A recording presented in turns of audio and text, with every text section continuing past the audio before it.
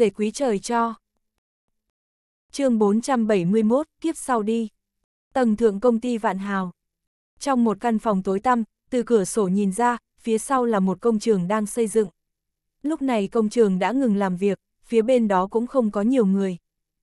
Lâm Thanh Diện và nhóm người Trần Tài Anh đang đứng đối diện hứa trai hiệp. Trên đường trở về, bởi vì phản kháng mà hứa trai hiệp đã bị Lý Huỳnh Thái đánh cho một trận. Lúc này, mũi anh ta đã tím bầm rồi sưng lên, nhìn không ra dáng vẻ ban đầu nữa. Đám lưu manh bọn mày, đồ cướp bóc, bọn mày mau thả tao ra, bọn mày làm như vậy là phạm pháp, bọn mày sẽ bị trừng phạt. Hứa trai hiệp không có cách nào để đối phó với Lâm Thanh Diệt, chỉ có thể hét lên. Con mẹ nó, cứ như đàn bà con gái, còn dám nói bọn tao là lưu manh. Làm sao, mày bị bọn tao vô lễ rồi à? Hay là muốn nếm thử nắm đấm của tao? Lý Huỳnh Thái chừng mắt nhìn hứa trai hiệp. Audio điện tử võ tấn bền. Hứa trai hiệp sợ hãi lập tức rụt cổ lại, rõ ràng là anh ta rất sợ Lý Huỳnh Thái. Lâm Thanh Diện bước đến trước mặt hứa trai hiệp, nắm lấy cổ áo anh tay, rồi nhấc anh ta lên khỏi mặt đất. Lâm Thanh Diện, mày mau thả tao ra, mày không có quyền nhốt tao ở đây, nếu như để người bên ngoài biết được, mày phải vào tù đấy, chẳng lẽ mày muốn chống đối pháp luật sao? Hứa trai hiệp chừng mắt nhìn Lâm Thanh Diện nói. Ở Hồng Thành, tôi là trời, cho dù có giết cậu, cũng không ai dám gây phiền phức cho tôi. Lâm Thanh Diện lạnh lùng nói một câu. Hứa trai hiệp nghe được lời Lâm Thanh Diện nói, toàn thân toát ra mồ hôi lạnh. Anh ta không chút nghi ngờ lời nói của Lâm Thanh Diện, một người có thể khiến công ty vạn hào phá sản trong 10 phút, năng lực của anh ta không gì có thể đong đếm được. Lâm, Lâm Thanh Diện, thật ra chúng ta cũng không cần thiết gây gổ đến mức độ này, có gì thì chúng ta từ từ nói chuyện. Trước kia quả thực là tôi có chỗ không phải, nếu như anh cảm thấy trong lòng không thoải mái, tôi có thể xin lỗi anh.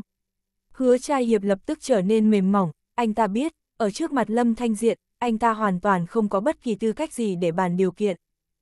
Xin lỗi, công ty nhà họ hứa phá sản, bây giờ tung tích của Bích Hoài không rõ, Linh Nhi bị chiếc xe đó tông xa mười mấy mét, cậu lại cho rằng một lời xin lỗi là xong chuyện, cậu cảm thấy có thể không? Sát khí xung quanh Lâm Thanh Diện lập tức bao vây lấy hứa trai hiệp. Cơ thể hứa trai hiệp không khỏi run lên, lập tức nói chuyện đó, chuyện đó không phải do tôi làm, tôi chỉ khiến công ty nhà họ hứa phá sản mà thôi, nhưng việc còn lại không phải do tôi làm, là người phụ nữ đó làm, mọi thứ đều là do cô ta làm. Tôi khiến công ty nhà họ hứa phá sản cũng là mệnh lệnh của người phụ nữ kia, không liên quan gì đến tôi hết. Lâm Thanh Diện biết người phụ nữ mà hứa cha hiệp nói đến là Lạc Tâm, có điều cho dù hứa cha hiệp là do Lạc Tâm lợi dụng, nhưng lỗi sai mà anh ta đã phạm phải, vẫn không thể nào tha thứ được. Một người bị người khác xúi dục giết người, người xúi dục có tội, nhưng kẻ giết người cũng có tội. Huống chi hứa cha hiệp luôn dắp tâm đối nghịch với hứa Bích Hoài. Nếu không phải anh ta vốn muốn làm như vậy, sao có thể dễ dàng bị lạc tâm lợi dụng được. Lâm Thanh Diện sẽ không bỏ qua cho lạc tâm, nhưng đương nhiên cũng không bỏ qua cho hứa trai hiệp. Công ty nhà họ hứa phá sản, chẳng lẽ còn chưa đủ sao? Nếu không phải vì chuyện này, sao Bích Hoài có thể trở nên quyết liệt với Tống Huyền Khanh được chứ? Cô ấy sao có thể một mình chạy đến ngoại ô? Cậu cho rằng cậu không có chút trách nhiệm nào trong chuyện này sao? Lâm Thanh Diện nói xong, một bàn tay khác nắm lấy một ngón tay của hứa trai hiệp, dùng sức bẻ gãy ngón tay đó của anh ta. Hứa trai hiệp lập tức thảm thiết kêu lên, cơ thể không khỏi phản kháng, nhưng mà một tay kia của Lâm Thanh Diện đang giữ lấy anh ta, bất kể anh ta có làm gì cũng không thể thoát khỏi được. Đây là sự trừng phạt cho việc cậu kết hợp với Tống Huyền Khanh khiến công ty nhà họ hứa phá sản. Sau đó Lâm Thanh Diện lại cầm một ngón tay khác của hứa trai hiệp, lại dùng lực bẻ gãy ngón tay của anh ta một lần nữa. Đây là sự trừng phạt cho việc cậu khiến Bích Hoài hết sức đau lòng, một mình đi đến ngoại ô, phải chịu tổn thương. Lại một ngón tay nữa bị gãy, sắc mặt hứa trai hiệp trắng bệch, cơ thể không khỏi run rẩy. Ngày hôm nay, cuối cùng anh ta cũng biết được sự đáng sợ của Lâm Thanh Diện rồi. Nếu như cho anh ta một cơ hội nữa, anh ta nhất định sẽ không lựa chọn việc đối nghịch với Lâm Thanh Diện, cũng tuyệt đối không gây phiền phức cho hứa Bích Hoài. Đáng tiếc trên thế giới này không có nếu như. Đây là sự trừng phạt cho việc cậu đến chết rồi cũng không biết hối cải, vẫn luôn nghĩ cách gây phiền phức cho tôi và Bích Hoài. Chẳng bao lâu sau, 10 ngón tay của hứa trai hiệp đều bị bẻ gãy, anh ta đau khổ đến mức sắp mất đi. Nhưng mà vẫn chưa kịp mất đi ý thức, ngón tay tiếp theo của anh ta lại bị bẻ gãy, khiến anh ta không thể nào dựa vào việc ngất đi mà giảm cơn đau. Bây giờ Bích Hoài mất tích, trong lòng tôi nóng như lửa đốt. Một giây không tìm thấy cô ấy, tôi lại bị giày vò thêm một giây, tâm trạng của tôi cậu sẽ không thể nào hiểu được. Sai lầm của cậu không thể nào bù đắp lại được chỉ bằng việc bẻ gãy mấy ngón tay này. Lâm Thanh Diện nhìn hứa trai hiệp nói. Tha, tha cho tôi đi, sau này tôi không dám nữa, cầu xin anh, tôi thật sự biết sai rồi. Hứa trai hiệp nghẹn ngào nói. Tiếp sau đi. Lâm Thanh Diện nói với hứa trai hiệp một câu, sau đó nhấc anh ta lên đi ra ngoài cửa sổ. Hứa trai hiệp dường như đã cảm nhận được nguy cơ nào đó, cơ thể không ngừng dẫy giụa, nhưng mà đã bị Lâm Thanh Diện đè xuống. Lâm Thanh Diện mở cửa sổ ra, đồng tử của hứa trai hiệp co lại, sắc mặt như tử thi, chán nổi đầy gân xanh, dường như anh ta đã dùng sức lực lớn nhất trong cuộc đời mình, nhưng anh ta đang bị Lâm Thanh Diện khống chế, dù có dùng sức hơn đi chăng nữa cũng chỉ là uổng công. Ngay sau đó, Lâm Thanh Diện không chút do dự ném hứa trai hiệp ra ngoài, một tiếng kêu thảm thiết vang lên từ không tùng, tiếc là công trường phía sau không có người, cũng không có ai chú ý đến hứa trai hiệp rơi xuống từ trên tầng thượng. Sau khi ném hứa trai hiệp ra ngoài, Lâm Thanh Diện quay lại, nhìn đám người Trần Tài Anh phía sau, nói chúng ta đi thôi. Sắc mặt đám người Trần Tài Anh rất nặng nề, đứng trước mặt Lâm Thanh Diện không khỏi đứng thẳng lưng hơn một chút, sau đó gật gật đầu, đi theo Lâm Thanh Diện ra ngoài. Dưới tầng, Tôn Tuệ Phương đang đợi ở đó, nhìn thấy đám người Lâm Thanh Diện đang bước đến, nhanh chóng đi về phía họ. Lâm Thanh Diện, sao rồi, tên hứa cha hiệp đó nhận sai chưa? Loại người như cậu ta đúng là chết rồi cũng không biết hối cải, lần này em dạy dỗ cậu ta, liệu sau này cậu ta có gây phiền phức cho em không? Tôn Tuệ Phương hỏi. Lâm Thanh Diện cười với Tôn Tuệ Phương, rồi nói, yên tâm đi chị Tôn, sau này cậu ta không còn cơ hội gây phiền phức cho em đâu. Tôn Tuệ Phương gật đầu, rồi theo Lâm Thanh Diện đi ra bên ngoài, vừa đi vừa suy nghĩ về ý nghĩa trong lời nói của Lâm Thanh Diện. Đột nhiên, bà ta trừng lớn mắt, có chút kinh ngạc nhìn Lâm Thanh Diện, không có cơ hội gây phiền phức cho Lâm Thanh Diện nữa, hình như chỉ có người chết mới không bao giờ có cơ hội thôi mà đúng không? Trong lòng bà ta cảm thấy chấn động, có điều nhìn Lâm Thanh Diện như là không có chuyện gì vậy, cũng không dám nói gì nữa. Bà ta biết rõ sự lợi hại của Lâm Thanh Diện, vì vậy bất kể Lâm Thanh Diện làm ra chuyện gì, bà ta cũng đều không quá kinh ngạc. Bởi vì Tống Huyền Khanh đã đuổi Tôn Tuệ Phương ra ngoài, trước kia Tống Huyền Khanh bị Lâm Thanh Diện đánh một trận, bây giờ để Tôn Tuệ Phương trở về gia viên chăn tụy, Tống Huyền Khanh không biết còn làm gì với Tôn Tuệ Phương, vì vậy Lâm Thanh Diện đã bảo Trần Tài Anh chuẩn bị cho Tôn Tuệ Phương một căn phòng ở Mãn Thiên Tinh. Trên đường đến Mãn Thiên Tinh, Tôn Tuệ Phương nói cụ thể những chuyện đã xảy ra trong nhà ngày hôm đó với Lâm Thanh Diện, thuận tiện còn nói cả chuyện Tống Huyền Khanh đuổi hứa quốc hoa ra khỏi nhà với anh. Nghe xong, Lâm Thanh Diện càng cảm thấy Tống Huyền Khanh đúng là một ả phụ nữ điên, nếu như lúc đó ở gia viên chăn tụy không phải Trần Tài Anh nói chuyện của Tôn Tuệ Phương cho Lâm Thanh Diện, Lâm Thanh Diện lúc đó đang tức giận nói không chừng đã giết chết Tống Huyền Khanh rồi. Bây giờ Lâm Thanh Diện đã giải quyết xong nhà họ hứa, cơn tức trong lòng cũng vơi đi không ít, ý nghĩ muốn giết Tống Huyền Khanh cũng không còn mạnh mẽ như vậy nữa. Tuy chuyện mà Tống Huyền Khanh làm đủ để Lâm Thanh Diện giết chết bà ta 100 lần, nhưng dù sao bà ta cũng là mẹ của hứa Bích Hoài, cho dù Lâm Thanh Diện có thật sự muốn ra tay, cũng phải đợi tìm được hứa Bích Hoài rồi tính. Khoảng thời gian này anh không định đến gia viên chăn tụy, đợi sau khi bình tĩnh lại, rồi mới nghĩ nên giải quyết Tống Huyền Khanh thế nào. Sau khi trở về mãn thiên tinh, sắp xếp phòng cho Tôn Tuệ Phương xong, Lâm Thanh Diện và nhóm người Trần Tài Anh ngồi cùng nhau uống rượu. Lúc trở về, Lâm Thanh Diện đã thông báo cho người của quan lính, bảo bọn họ giúp anh tìm tung tích của hứa Bích Hoài. Với lực lượng của quan lính, khả năng tìm được hứa Bích Hoài vẫn là rất lớn. Nhưng chỉ một phút chưa tìm thấy hứa Bích Hoài, Lâm Thanh Diện lại không thể yên tâm nổi, vì vậy cha có thể mượn rượu giải sầu. Qua ba tuần rượu, Lâm Thanh Diện vẫn cảm thấy phiền muộn trong lòng khó mà tiêu tan, bèn ngẩng đầu lên nhìn Trần Tài Anh, nói tìm cho tôi một võ đài boxing, tôi muốn phát tiết. chương 472, anh nên biết thân biết phận chút. Lý Huỳnh Thái vừa nghe Lâm Thanh Diện nói xong, liền cười cười trả lời, anh Diện, với thực lực của anh, không cần biết là sàn đấu nào, chắc chắn sẽ không có đối thủ của anh. Trần Tài Anh ngồi bên cạnh suy nghĩ lúc rồi lên tiếng nói, nếu như chỉ muốn bộc phát một chút thì không nhất định cần phải tìm cho bằng được người xứng đáng làm đối thủ, chỉ cần tìm vài người tình nguyện chịu đòn là được, Huỳnh Thái, hay là anh chịu khó chút, anh chịu trận để cho Lâm Thanh Diện xả stress chút. Lý Huỳnh Thái liền trừng mắt nhìn lại, sau đó xoay qua nhìn Lâm Thanh Diện với ánh mắt nài nỉ, anh Diện, em còn muốn sống thêm vài năm nữa, cho dù anh chỉ đánh em để xả stress thì em e là em cũng phải nằm giường bệnh trong thời gian dài đó.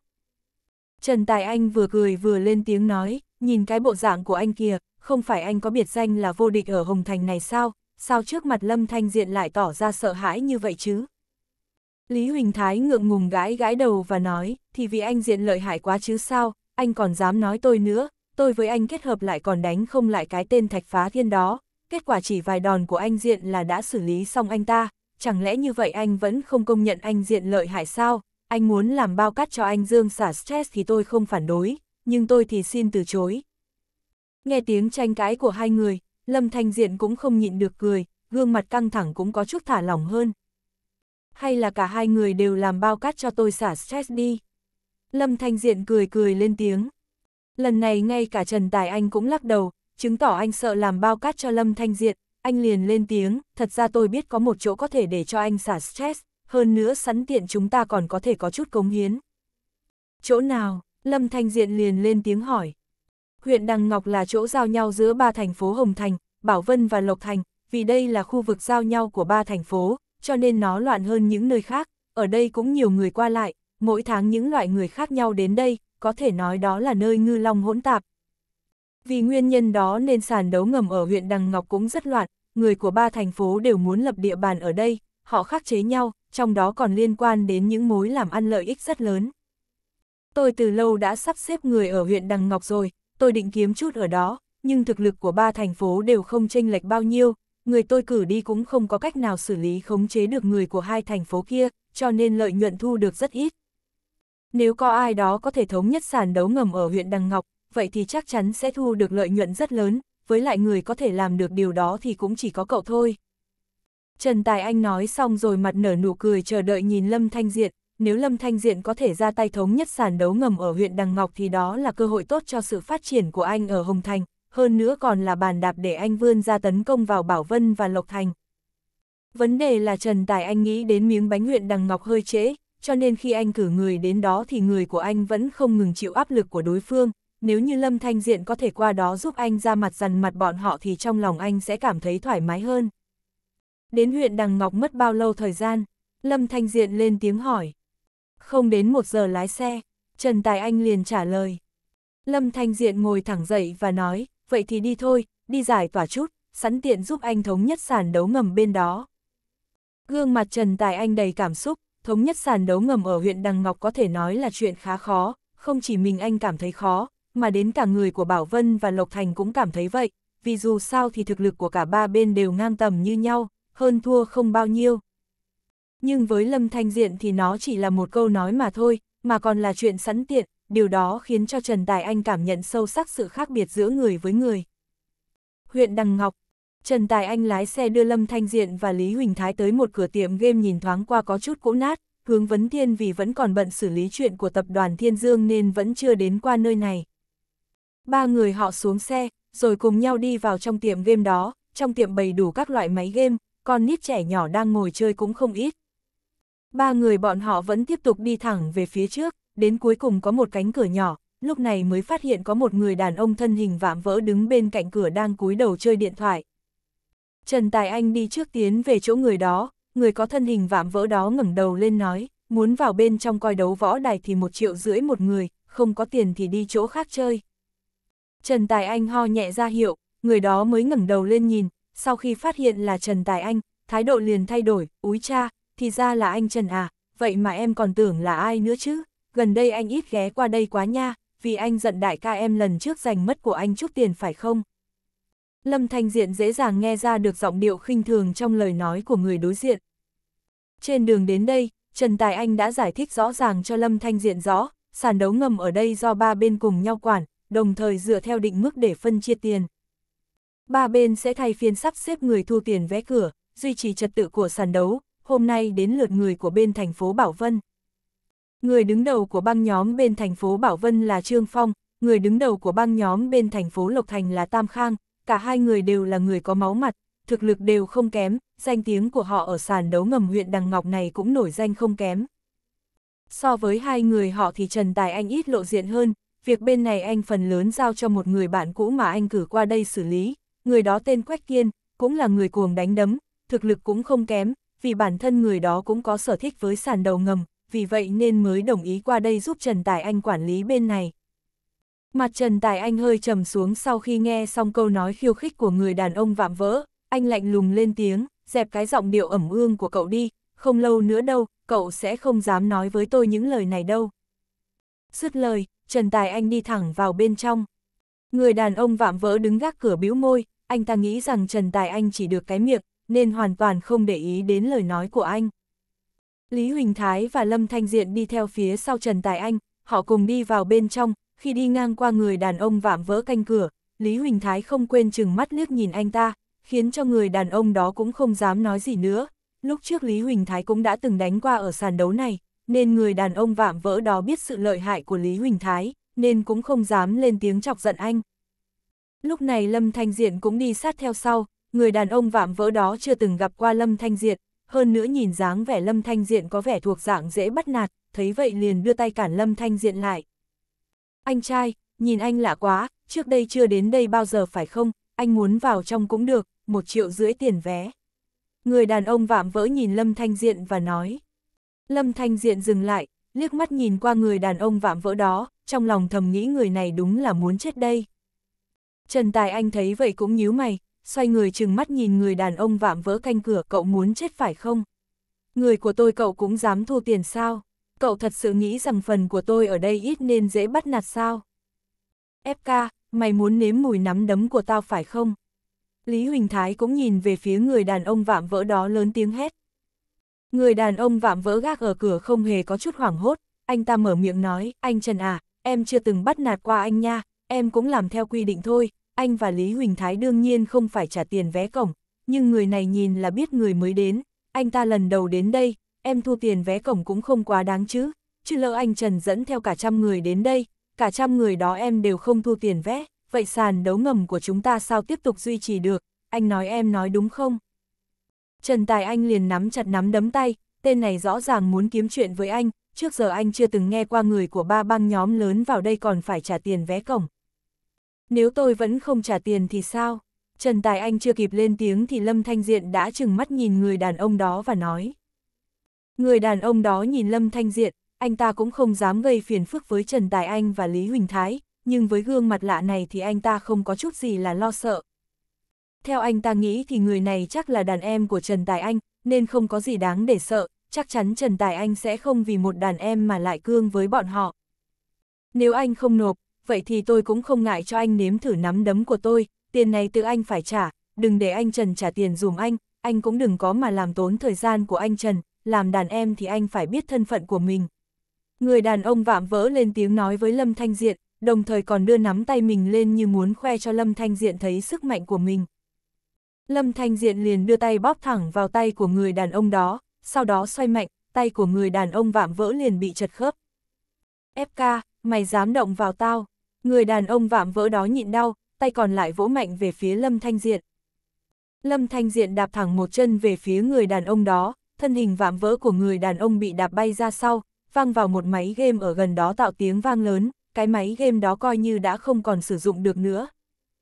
Cậu cũng nên biết thân biết phận, cậu chẳng qua chỉ là tên canh cửa, lần sau để ý chút. Lâm Thanh Diện nhìn người đàn ông đó không quên gửi gắm lại một câu. Trần Tài Anh cười cười nhìn Lâm Thanh Diện, rồi sau đó đưa ngón tay cái lên ra hiệu. Sau đó ba người cùng đi vào bên trong, Trần Tài Anh cũng không sợ người đàn ông canh cửa đó sẽ đem chuyện vừa rồi nói lại cho đàn anh của họ, vì dù sao thì mục đích hôm nay anh đến đây là để thống nhất sàn đấu ngầm này, từ sau ngày hôm nay, nguyên cái sàn đấu này sẽ thuộc về họ, cho nên không có gì đáng phải sợ. Hơn nữa còn có Lâm Thanh Diện ở đây, cho dù anh có muốn lo sợ thì cũng không có chỗ để lo sợ. Sàn đấu ngầm ở đây náo nhiệt hơn ở Hồng Thành, bên trong ngoại trừ võ đài, còn có khu vực như quầy ba, rất giống với ba ở khu ngoại giao Tô Thành. Khu vực quầy ba lúc này đã đầy người, khu vực võ đài cũng chen chúc người với người, mặt mày ai nấy cũng hớn hở với trận đấu đang diễn ra trên võ đài. Trần Tài Anh đưa Lâm Thanh Diện và Lý Huỳnh Thái đến chỗ khu vực địa bàn riêng của họ ở sàn đầu ngầm này, một người có khuôn mặt hơi gầy, thân hình cường tráng đi đến chỗ họ. Anh Trần, anh đến sao không báo trước cho em biết, để em cho người đi đón anh. Người đàn ông đó lên tiếng nói.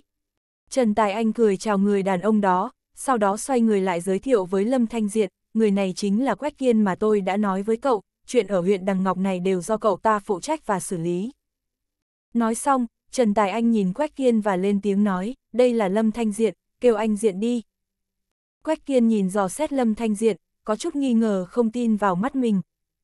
Người này nhìn qua dáng vẻ bình thường, anh ta có tài cán gì mà anh Trần cũng phải gọi anh ta một tiếng Anh. chương 473, các người có di ngôn không?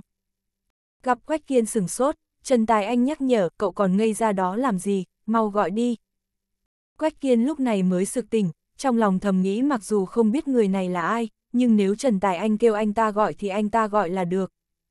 Anh ta nhìn Lâm Thanh Diện kêu một tiếng, anh Diện. Lâm Thanh Diện chỉ gật nhẹ đầu, không nói gì. Quách Kiên chỉ cảm thấy người trước mặt quá cao ngạo lạnh lùng, mình gọi anh một tiếng anh vậy mà anh lại phản ứng như vậy, bình thường anh ta chưa từng gặp người nào như anh nên khiến trong lòng anh ta có chút khó chịu. Tuy nhiên, vì sĩ diện của Trần Tài Anh anh ta chỉ có thể kềm chế sự khó chịu trong lòng lại. Vừa rồi khi chúng ta đi vào, người của Trương Phong nhất định bắt Lâm Thanh Diện trả tiền vé, Lâm Thanh Diện liền đánh người, ước chừng chỉ chốc lát nữa thôi, Trương Phong sẽ mang theo người tìm đến, lần này vô luận như thế nào cũng không có nhường bọn họ nữa, anh cứ việc cứng rắn, về sau không cần phải sợ Trương Phong cùng Tam Khang. Thấy Quách Kiên chào hỏi mình, anh liền nới với Trần Tài Anh và Quách Kiên những gì đã xảy ra ở cửa. Quách Kiên nghe được liền cau mày nói, anh Trần, Trương Phong cùng Tam Khang gần đây cứ nhìn chằm chằm chúng tôi, bọn họ từ lâu đã muốn lấy phần của chúng tôi, vào lúc này lại xảy ra chuyện như vậy, chỉ sợ sẽ bất lợi đối với chúng ta mà thôi. Mặc dù không nói rõ điều này, nhưng rõ ràng anh ta đang phàn nàn về hành động của Lâm Thanh Diện. Trần Tài Anh trừng mắt với anh ta, nói chẳng phải tôi đã nói với cậu sau này không cần e ngại Trương Phong cùng Tam Khang nữa sao, có Lâm Thanh Diện ở đây, chưa biết chừng hôm nay chúng ta còn có thể chiếm luôn phần của họ ấy chứ. Quách Kiên sừng sốt, không tin nhìn Lâm Thanh Diện, Trần Tài Anh thực sự cảm thấy người có vẻ ngoài bình thường này lại có thể nắm giành được phần của Trương Phong cùng Tam Khang ư, chuyện này có phần hơi ảo tưởng rồi. Tuy nhiên, anh ta chưa nói xong thì cách đó không xa đã bắt đầu lộn xộn, vài người quay lại và thấy một nhóm người đang hung hăng đi về phía họ, người đứng đầu là Trương Phong với đôi lông mày rậm. Người đàn ông cường tráng bị đánh lúc đó sắc mặt ảm đạm, nắm chặt cánh tay đi theo Trương Phong, trên mặt lộ ra vẻ sát ý. Quách Kiên thấy vậy, trong lòng lập tức chửi thề một tiếng, nhanh chóng nháy mắt với thuộc hạ cách đó không xa, kêu bọn họ gọi người tới, trong bộ dạng của Trương Phong cùng đám người đó thì có lẽ sắp đánh nhau đến nơi rồi. Trần Tài Anh, Quách Kiên, các ngươi làm vậy là có ý gì, mẹ kiếp, dám bẻ chật khớp tay em họ tôi, chẳng lẽ muốn trở mặt với Trương Phong này sao? Ông đây đã thấy các người không vừa mắt lâu rồi rồi, nếu các người không muốn ở đây nữa, thì hôm nay tôi sẽ tự mình khiến các người rời khỏi huyện Đằng Ngọc này một cách tâm phục khẩu phục. Trương Phong hét vào mặt đám người Trần Tài Anh. Ha ha, xem ra Trần Tài Anh không hài lòng với việc bị chiếm mất phần lần trước, thật lòng mà nói nhé, Tam Khang này cũng ngứa mắt đám Trần Tài Anh này lâu rồi, nếu Trương Phong muốn động thủ thì tôi không ngại giúp đỡ một tay. Lúc này một giọng nói khác vang lên, chính là Tam Khang cũng vội đến xem náo nhiệt. Quách Kiên thấy thế, nhất thời bối rối, Trương Phong cùng Tam Khang đã sớm bắt tay nhau rồi, bọn họ luôn nghĩ cách đuổi đám Trần Tài Anh ra khỏi huyện Đằng Ngọc. Đáng tiếc là không có lý do chính đáng, hai người bọn họ không thể trực tiếp ra tay, hiện tại việc Lâm Thanh Diện đánh em họ của Trương Phong cũng đủ làm cái cớ cho bọn họ ra tay với đám người Trần Tài Anh. Quách Kiên duy chỉ được tình hình như lúc trước cũng đã tương đối khó khăn rồi vậy mà hôm nay Lâm Thanh Diện đến liền khiến mọi việc rơi vào bế tắc, cho dù Trần Tài Anh luôn cung kính với Lâm Thanh Diện đi nữa thì trong lòng anh ta vẫn cứ thấy khó chịu. Hai anh, tôi nghĩ đây chỉ là một sự hiểu lầm, Trương Phong, kẻ đã đánh em họ của anh là người mới và anh ta chưa hiểu các quy tắc ở đây, tiền thuốc men của em họ anh tôi sẽ thanh toán toàn bộ, chuyện này coi như qua nhé. Quách kiên nhanh mồm nhanh miệng, cố hết sức cứu vãn tình thế. Tiền thuốc men, mẹ nó, chút tiền thuốc men ấy ông đây trả không nổi à. Vấn đề này liên quan đến tôn nghiêm của em họ tao, bao nhiêu tiền cũng không giải quyết được, nếu tụi mày muốn cho chuyện này chấm dứt một cách đơn giản thì hãy kêu tên ngốc đã đánh người đó quỳ lại em họ của tao trước mặt mọi người, sau đó để em họ tao mượn đỡ hai cánh tay, thì tao sẽ không so đo với tụi mày nữa, nếu không tao không để yên chuyện này đâu. Trương Phong lạnh lùng nói. Quách Kiên nghe xong lời nói của Trương Phong, quay đầu lại nhìn Lâm Thanh Diện, giống như thật sự muốn bảo Lâm Thanh Diện tự mình đứng ra giải quyết, hảo hóa giải sự uy hiếp của Trương Phong và Tam Khang đối với hai người họ. Lúc này Trần Tài Anh bước tới và hét vào mặt Trương Phong một câu, mẹ nó, mày bất tự cao tự đại đi, em họ mày không bị đánh chết là may phúc ba đời nhà mà rồi, còn Tam Khang, đừng tưởng tao không biết tụi mày đã thông đồng từ trước, chẳng phải tụi mày muốn bắt tay nhau đuổi tao ra khỏi đây sao, nói cho tụi mày biết nhé, hôm nay tao đến đây là để cho tụi mày biết rằng tụi mày không có thực lực đó đâu. Quách Kiên nghe Trần Tài Anh nói xong, lập tức biến sắc, hành động này của ông ta chẳng khác nào trực tiếp phỉ nhổ vào mặt Trương Phong và Tam Khang, nếu hôm nay bọn họ không thể trấn áp được hai tên này, thì có thể tưởng tượng ra hậu quả mà bọn họ phải đối mặt là gì rồi. Nhưng người chịu trách nhiệm ở đây vẫn là Trần Tài Anh nên anh ta không thể nói gì, đã đến mức này, anh ta không có cách nào can thiệp. Anh ta chỉ có thể oán hận nhìn Lâm Thanh Diện, nghĩ thầm chuyện xảy ra ngày hôm nay là do tên này gây ra, nếu là do anh, mà tâm huyết gầy dựng nên tại huyện Đằng Ngọc này đều bị hủy thì cho dù Trần Tài Anh ngăn cản, anh ta cũng tuyệt đối sẽ không bỏ qua cho Lâm Thanh Diện. Trương Phong cùng Tam Khang nhìn nhau, không ngờ Trần Tài Anh lại cứng như vậy, không hề nể mặt bọn họ. Tuy nhiên, không ai trong số họ quá ngạc nhiên, thay vào đó họ mỉm cười, đây là kết quả họ mong muốn, chỉ bằng cách này họ mới có thể đuổi Trần Tài Anh ra khỏi huyện Đằng Ngọc. Đờ mờ mày, xem ra mày muốn trực tiếp đánh nhau, nếu mày đã rượu mời không uống lại thích uống rượu phạt thì đừng trách chúng tao không khách khí. Trương Phong quát lên với Trần Tài Anh rồi lập tức ra tay. Lúc này Lâm Thanh Diện bước ra, nhìn đám người đối diện rồi lớn tiếng nói, lên đài đi, chuyện hôm nay sẽ do tao giải quyết với tụi mày. Trương Phong liếc mắt đánh giá Lâm Thanh Diện rồi cười nhạo, mày sao, loại như mày mà cũng muốn lên đài đánh nhau. Không phải mày mà là cả hai đứa chúng mày. Lâm Thanh Diện lại chỉ về Tam Khang, cả hai đứa mày cùng lên lôi đài với tao, nếu tụi mày thắng, toàn bộ phần của Trần Tài Anh sẽ trao cho tụi mày còn nếu tụi mày thua thì từ nay về sau, sàn đấu ngầm của huyện Đằng Ngọc sẽ là thiên hạ của Trần Tài Anh. Ngay khi Lâm Thanh Diện thốt ra những lời này, toàn trường liền im lặng trong vài giây nhưng liền sau đó, hầu hết mọi người đều bật cười.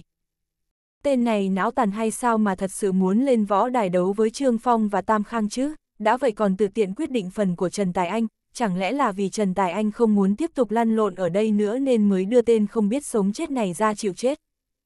Nghe ý của anh ta thì muốn một đấu hai, tôi chưa từng thấy ai kiêu ngạo như vậy ở võ đài quyền Anh, Trương Phong cùng Tam Khang đều là những cao thủ số một, một người cũng đã khó đối phó rồi, càng đừng nói hai người.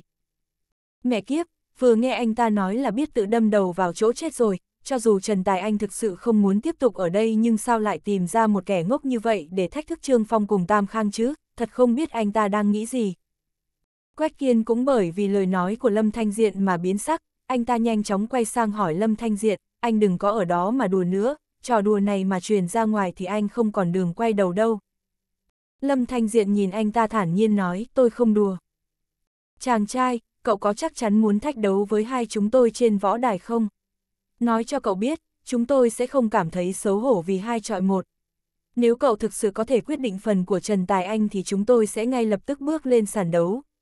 Tam Khang nhìn chằm chằm Lâm Thanh Diện nói một câu.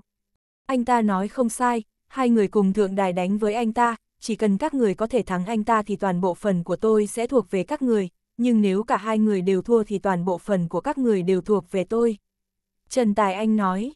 Tất cả mọi người đều rất kinh ngạc, không ngờ Trần Tài Anh lại tự mình nói giúp cho Lâm Thanh Diện. Nhưng theo quan điểm của họ, Trần Tài Anh làm như vậy, chỉ sợ cũng là bởi vì đầu óc ông ta có vấn đề.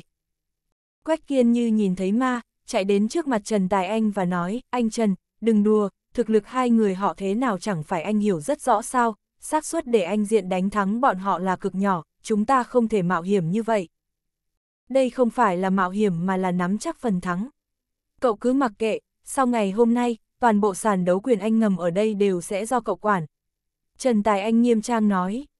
Có thế nào đi nữa thì Quách Kiên cũng thấy Lâm Thanh Diện không có khả năng thắng Trương Phong cùng Tam Khang, nhưng chuyện này xét đến cùng vẫn là vấn đề của Trần Tài Anh, anh ta chỉ có trách nhiệm quản lý nơi này mà thôi cho nên một bụng những lời muốn nói vừa ra tới miệng liền bị nuốt lại.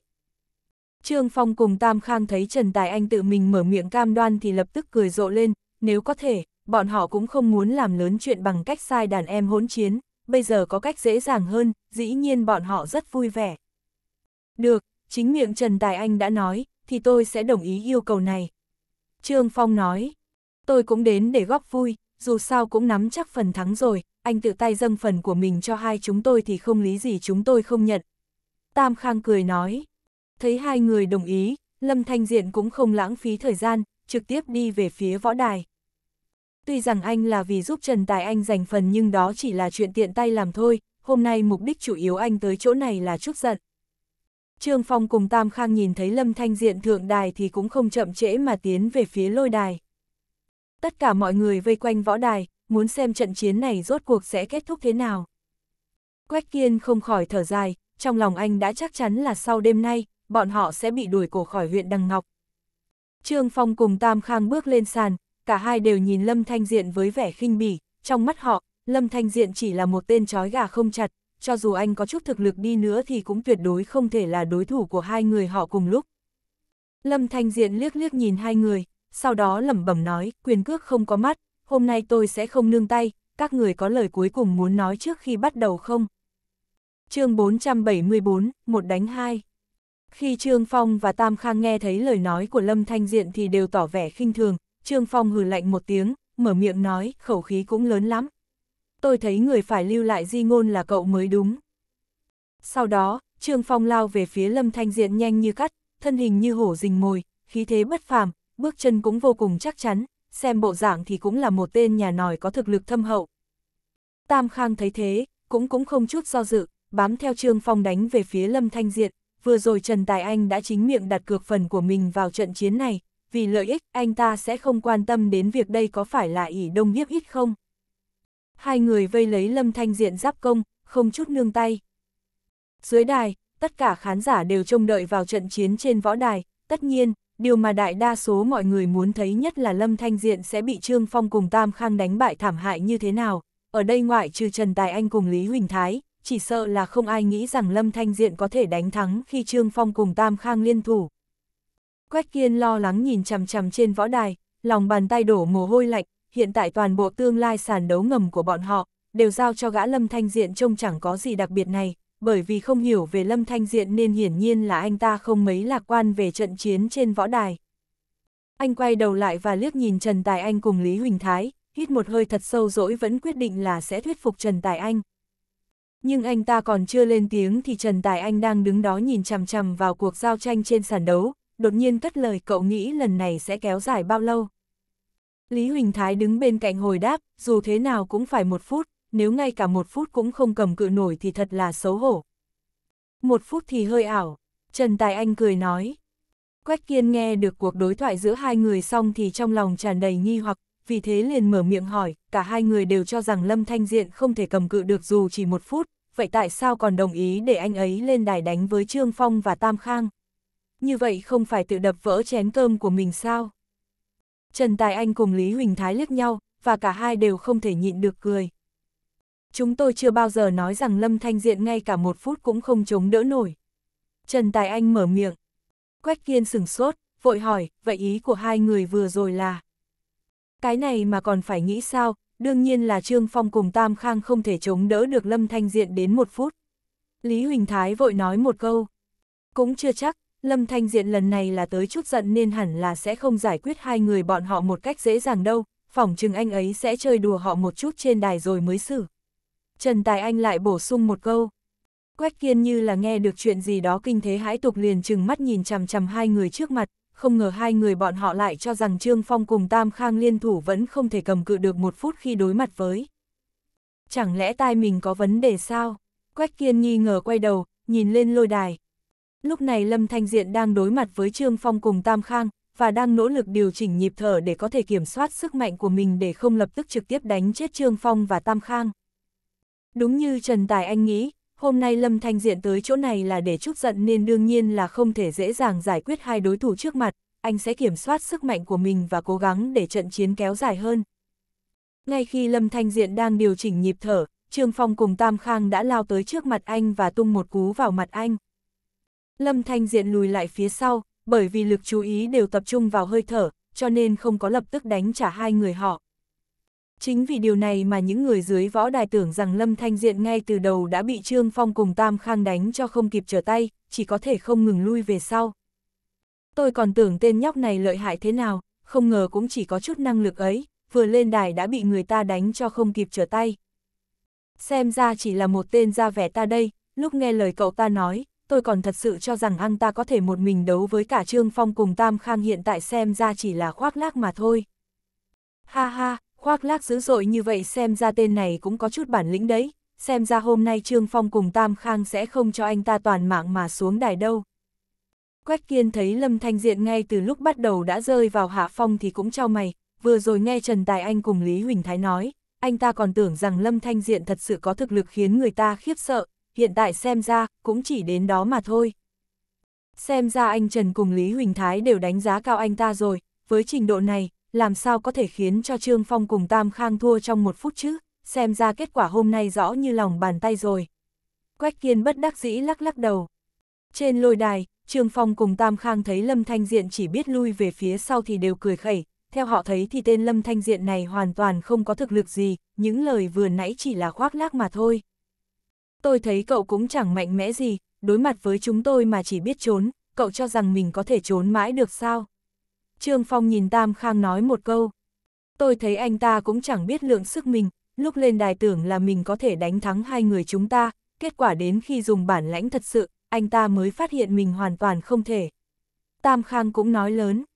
Đúng lúc này, Lâm Thanh Diện đã điều chỉnh xong hô hấp, anh không lui về phía sau nữa, sau khi dừng lại anh nhìn về phía Trương Phong và Tam Khang, thản nhiên nói, vậy sao? Sau đó, Lâm Thanh Diện đấm vào hai người bọn họ, không hề tránh né, anh tự mình khống chế được sức mạnh, nếu không có sự điều chỉnh vừa rồi chỉ sợ anh có thể đánh chết bọn họ chỉ trong một quyền. Trương Phong cùng Tam Khang lập tức cảm giác được sự thay đổi về khí thế trên người Lâm Thanh Diệt, anh hoàn toàn khác so với người lúc nãy. Toàn bộ những chiêu thức mà hai người bọn họ đánh về phía Lâm Thanh Diện đều bị anh dễ dàng bắt lấy, còn những cú đấm của Lâm Thanh Diện thì hai người họ không bắt được dù chỉ một chiêu. Bên dưới lôi đài, mọi người đều thấy sự biến hóa của Lâm Thanh Diện nên đều kinh ngạc, những người chế nhão Lâm Thanh Diện lúc nãy đều lập tức ngậm chặt miệng, sững sờ quan sát trận đấu trên lôi đài. Một lúc sau, cảnh tượng mà mọi người nhìn thấy trên võ đài là Lâm Thanh Diện không ngừng đánh Trương Phong cùng Tam Khang, từ đầu đến chân hai người đều bị đánh nhưng không còn sức đánh trả, chỉ có thể trơ mắt nhìn nắm đấm của Lâm Thanh Diện liên tục giáng xuống người mình. Tất cả mọi người đều há hốc mồm kinh ngạc, không ngờ Lâm Thanh Diện lại lợi hại như vậy, nhất là sau khi thay đổi, Lâm Thanh Diện lại càng khiến cho bọn họ càng kinh ngạc hơn nữa. Quách Kiên lúc này cũng đang nhìn chằm chằm vào Lâm Thanh Diện trên sàn đấu với vẻ mặt khó tin, thực lực của Lâm Thanh Diện hoàn toàn vượt quá sức tưởng tượng của anh ta, cùng lúc ấy cảm nhận của anh ta về Lâm Thanh Diện hoàn toàn thay đổi. Lúc này anh ta mới hiểu tại sao Trần Tài Anh cùng Lý Huỳnh Thái lại bình tĩnh như vậy, hóa ra Lâm Thanh Diện thực sự có đủ thực lực để đánh với Trương Phong và Tam Khang. Có điều, chuyện khiến anh ta hơi khó hiểu là mặc dù Lâm Thanh Diện có thể đánh bại Trương Phong cùng Tam Khang, nhưng cũng không giống như Trần Tài Anh và Lý Huỳnh Thái đã nói rằng chỉ trong một phút là giải quyết được hai người họ. Theo quan điểm của Quách Kiên xem ra, sức mạnh của Lâm Thanh Diện thực chất chỉ áp chế được sự liên thủ giữa Trương Phong và Tam Khang thôi, chứ không hề đáng sợ như Lý Huỳnh Thái nói. Trên lôi đài, Trương Phong cùng Tam Khang thực sự không thể chịu được đòn tấn công của Lâm Thanh Diện, bọn họ đều cảm giác được, Lâm Thanh Diện lên sàn đấu để đánh họ chứ không phải để thắng họ. Tuy nhiên, một lát sau, hai người đều sưng vù như đầu heo. Ngưng, tôi nhận thua, tôi không đánh nữa, nếu chuyện này còn tiếp tục, tôi sẽ bị cậu đánh chết mất. Trương Phong nói với Lâm Thanh Diện sau đó nháy mắt với Tam Khang. Tam Khang lập tức hiểu ý, lúc này cũng mở miệng nói, tôi cũng không đánh nữa, đánh không lại. Lâm Thanh Diện dừng tay khi nghe được lời nói của hai người rồi quay đầu nhìn về xuống võ đài, muốn hỏi xem còn có ai muốn lên khiêu chiến với mình không vì anh cảm thấy mình còn chưa chút giận xong. Vào lúc này, Trương Phong cùng Tam Khang đều hung tợn chừng mắt nhìn Lâm Thanh Diện và lao về phía Lâm Thanh Diện, trực tiếp tấn công vào lưng anh. Chúng tao chỉ nói không đánh chứ không nói nhận thua, mày cứ thế quay lưng lại với chúng tao thì đúng là ngu như bò. Trương Phong cười khẩy, hét lên một cây, mắt thấy nắm đấm của mình sắp nện lên người Lâm Thanh Diện. Thì đúng lúc này, Lâm Thanh Diện hung hăng quay người lại, trực tiếp đá một phát vào bụng Trương Phong. Trương Phong trừng mắt, ngay sau đó liền bay ngược ra ngoài, ngã khỏi lôi đài, Tam Khang đang lao theo liền sợ hãi, lập tức khựng lại. chương 475, đợi thêm chút nữa đi. Tất cả mọi người đều kinh ngạc trước cảnh tượng này, vừa nãy, Lâm Thanh Diện đứng quay lưng lại với Trương Phong và Tam Khang, khoảnh khắc bọn họ ra tay với Lâm Thanh Diện, ý nghĩ đầu tiên hiện lên trong đầu mọi người, chính là Lâm Thanh Diện toi đời rồi. Giữa trận đấu, quay lưng mình lại với đối thủ, đặc biệt là khi đối thủ còn chưa nhận thua, chính là một việc rất nguy hiểm. Nhưng một cước của Lâm Thanh Diện đã khiến mọi người đều bị dọa một trận, chỉ trong thời gian ngắn ngủi như thế có thể phản ứng lại, hơn nữa một cước này còn đá Trương Phong bay ra xa, đây không phải là chuyện cao thủ bình thường có thể làm được. Kinh ngạc qua đi, lập tức có người chạy đến bên cạnh Trương Phong, kiểm tra tình trạng của hắn, sau đó người ấy hét lên với vẻ mặt đầy kinh hoàng, anh, anh ta chết rồi, Trương Phong chết rồi, Trương Phong bị đánh chết mất rồi. Tất cả khán giả đều rộ lên. Một trong ba vị vua sàn đấu ngầm huyện Đằng Ngọc Trương Phong, đã bị một cước đá chết như thế, chuyện này như tiếng sét đánh ngang tai đối với những người thường đến sàn đấu ngầm này cũng như những người biết rõ câu chuyện của Trương Phong. Lâm Thanh Diện nghe thấy tin Trương Phong đã chết, anh cũng chỉ đành lắc đầu, trong lòng thầm nhủ một câu, không khống chế tốt sức lực rồi, xin lỗi. Sau đó anh nhìn sang Tiếu Khấu đang dừng lại trước mặt mình, lạnh lùng hỏi, cậu không nhận thua, là muốn đánh tiếp đúng không?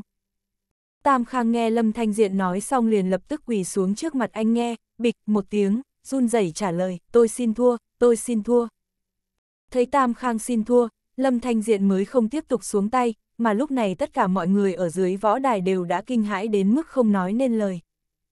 Lâm Thanh Diện quay người định xuống khỏi võ đài thì đột nhiên nhớ ra gì đó, anh liền quay lại nhìn Tam Khang một cái. Tam Khang tưởng rằng Lâm Thanh Diện vẫn còn muốn động thủ với mình, anh ta sợ hãi nằm bò xuống đất, thảm thiết kêu lên, đại ca, tôi xin thua rồi mà, xin anh tha cho tôi, tôi không muốn chết đâu. Này, tôi muốn hỏi một chút, bây giờ các cậu nhận thua rồi, thì phần định mức mà các cậu đã chấp nhận trước đó phải nhượng lại đi chứ. Lâm Thanh Diện lên tiếng. Tiết khẩu lập tức thở phào nhẹ nhõm, anh ta vội vàng đáp nhượng, tôi nhượng lại ngay đây. Anh ta đứng dậy, quay ra mọi người nói to, bắt đầu từ hôm nay, toàn bộ phần của tôi ở đây sẽ được giao cho Trần Tài Anh, sau này anh ấy sẽ là người nắm quyền điều khiển ở đây, Tam Khang tôi tuyệt đối sẽ không lấy một đồng nào từ chỗ này nữa. Nói xong, anh ta liền nhanh chóng rời khỏi võ đài, sợ chết khiếp chạy mất dạng. Lâm Thanh Diện lại nhìn về phía khán giả, to giọng hỏi, còn ai không phục nữa không? Bên dưới võ đài trong khoảnh khắc trở nên im lặng như tờ, không ai dám đứng lên. Thấy không có ai trả lời, Lâm Thanh Diện cũng không ở lại trên võ đài thêm nữa, anh rời bước xuống phía dưới võ đài. Đa số ánh mắt nhìn theo Lâm Thanh Diện đều trở nên kính sợ bội phận, chỉ có điều vẫn có một số ít người nhìn chằm chằm vào Lâm Thanh Diện như cười trên nỗi đau khổ của người khác. Lâm Thanh Diện bước đến trước mặt ba người Trần Tài Anh, bây giờ ánh mắt của Quách Kiên dành cho anh đã hoàn toàn thay đổi, không còn chút khinh thường nào như lúc trước, thay vào đó là sự cung kính và cả một tia sợ hãi.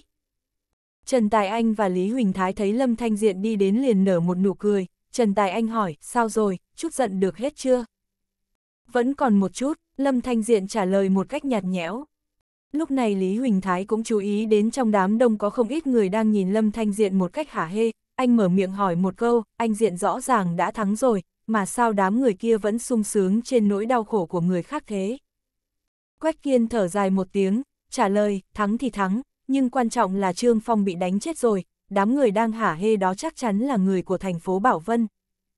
Sao lại nói thế? Trần Tài Anh cũng mang theo chút hoài nghi nhìn về phía Quách Kiên.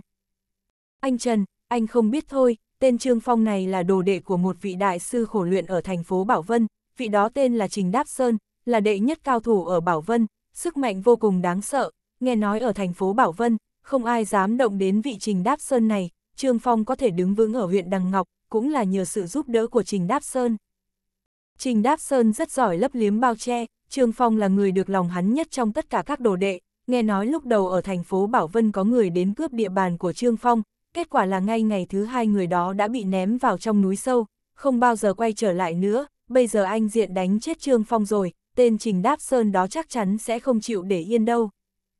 Quan trọng nhất là hôm nay Trình Đáp Sơn cũng đang ở huyện Đằng Ngọc, nếu tin tức này lan truyền ra ngoài, sợ là Trình Đáp Sơn sẽ đuổi đến đây ngay lập tức. Quách Kiên nói xong, khuôn mặt đầy vẻ thấp thỏm, còn người cứ đảo qua đảo lại, anh nói, hay là chúng ta mau đi đi, không để đến lúc Trình Đáp Sơn đuổi đến đây thì rắc rối đấy. Trần Tài Anh và Lý Huỳnh Thái nghe Quách Kiên nói xong, khuôn mặt vẫn rất bình tĩnh, dường như họ chẳng thấy tên Trình Đáp Sơn này lợi hại ở chỗ nào cả. Lâm Thanh Diện lại có chút phấn khởi, vừa nãy Trương Phong và Tam Khang chưa khiến anh chút hết mọi sự đè nén trong lòng, nếu như có thể có một người manh hơn hai người họ đến đây đánh với Lâm Thanh Diện một trận thì đương nhiên anh sẽ rất vui lòng. Nếu đã như vậy thì chúng ta ở lại đây đợi đi. Lâm Thanh Diện lên tiếng. Quách Kiên nghe Lâm Thanh Diện nói vậy thì sướng sờ, vốn dĩ anh nghĩ rằng sau khi mình kể chuyện này xong, Lâm Thanh Diện sẽ ý thức được mức độ nghiêm trọng của vấn đề, nhưng nào ngờ Lâm Thanh Diện lại nói muốn ở đây đợi. Điều này đối với Quách Kiên chẳng khác gì tự đưa đầu mình vào họng súng, mặc dù Lâm Thanh Diện thực sự rất lợi hại, một mình anh có thể đánh cả hai người Trương Phong và Tam Khang tơi bời, nhưng Lâm Thanh Diện không lợi hại tới mức trong vòng một phút có thể giải quyết xong hai người như lời Trần Tài Anh nói. Huống hồ Trình Đáp Sơn lại là đại sư khổ luyện số một Bảo Vân, danh hiệu này không phải chỉ để gọi cho vui, giống như ở Hồng Thành, trước giờ chưa từng có ai có thể thực sự xứng đáng với danh hiệu đệ nhất cao thủ, Trương Phong chẳng qua cũng chỉ là một đồ đệ của Trình Đáp Sơn mà thôi, chứ khác biệt về sức mạnh giữa hai người quả thực là một trời một vực. Nếu Lâm Thanh Diện chỉ vì thằng được Trương Phong và Tam Khang mà cho rằng mình có thực lực ngang bằng với Trình Đáp Sơn, thì đúng là quá tự cao tự đại rồi. Anh Diện, thực lực của Trình Đáp Sơn tuyệt đối không đơn giản như anh nghĩ đâu, theo tôi thấy, bây giờ chúng ta cứ tránh đi trước đã, Trình Đáp Sơn không thể đợi ở huyện Đằng Ngọc mãi được, chúng ta có thể đợi hắn đi rồi mới quay lại xử lý mọi việc ở đây. Quách Kiên vội vàng khuyên giải. Quách Kiên, cậu đúng là xem thương anh Diện quá rồi, anh Diện đã bảo cậu đợi thì cậu cứ đợi đi là được, đại sư khổ luyện cái gì chứ, đứng trước mặt anh Diện thì cũng chỉ là nhãi nhép thôi. Lý Huỳnh Thái nhìn chăm chăm vào Quách Kiên nói một câu. Không phải đâu, Trình Đáp Sơn thực sự, Quách Kiên vẫn muốn giải thích với Lý Huỳnh Thái. Được rồi, cứ đợi ở đây đi, đợi tên Trình Đáp Sơn đó đến thì cậu sẽ biết Lâm Thanh Diện rốt cuộc có phải đối thủ của hắn không. Trần Tài Anh cũng mở miệng nói một câu. Quách Kiên thấy lời nói của mình không thể lay động được ba người họ, đành bất lực nuốt nước bọt. Anh nghĩ đợi đến lúc Trình Đáp Sơn tìm đến đây, nếu Lâm Thanh Diện không phải là đối thủ của hắn, thì lúc ấy đã quá muộn rồi. Nếu không phải vì muốn giữ yên cơ nghiệp sàn đấu ngầm huyện Đằng Ngọc thì không chừng bây giờ anh đã sớm một mình cao chạy xa bay rồi. Dù sao thì người cũng là do Lâm Thanh Diện giết, không liên quan đến mình lắm, Trình Đáp Sơn không tới mức tìm đến mình đâu, bây giờ cũng chỉ có thể xin ông trời phù hộ thôi. Những người ở thành phố Bảo Vân đang có mặt ở đây thấy mấy người Lâm Thanh Diện vẫn đang đợi ở đây, không có ý định rời đi thì không chỉ ngạc nhiên, mà vẻ mặt hả hê của họ lại càng hiện rõ hơn nữa.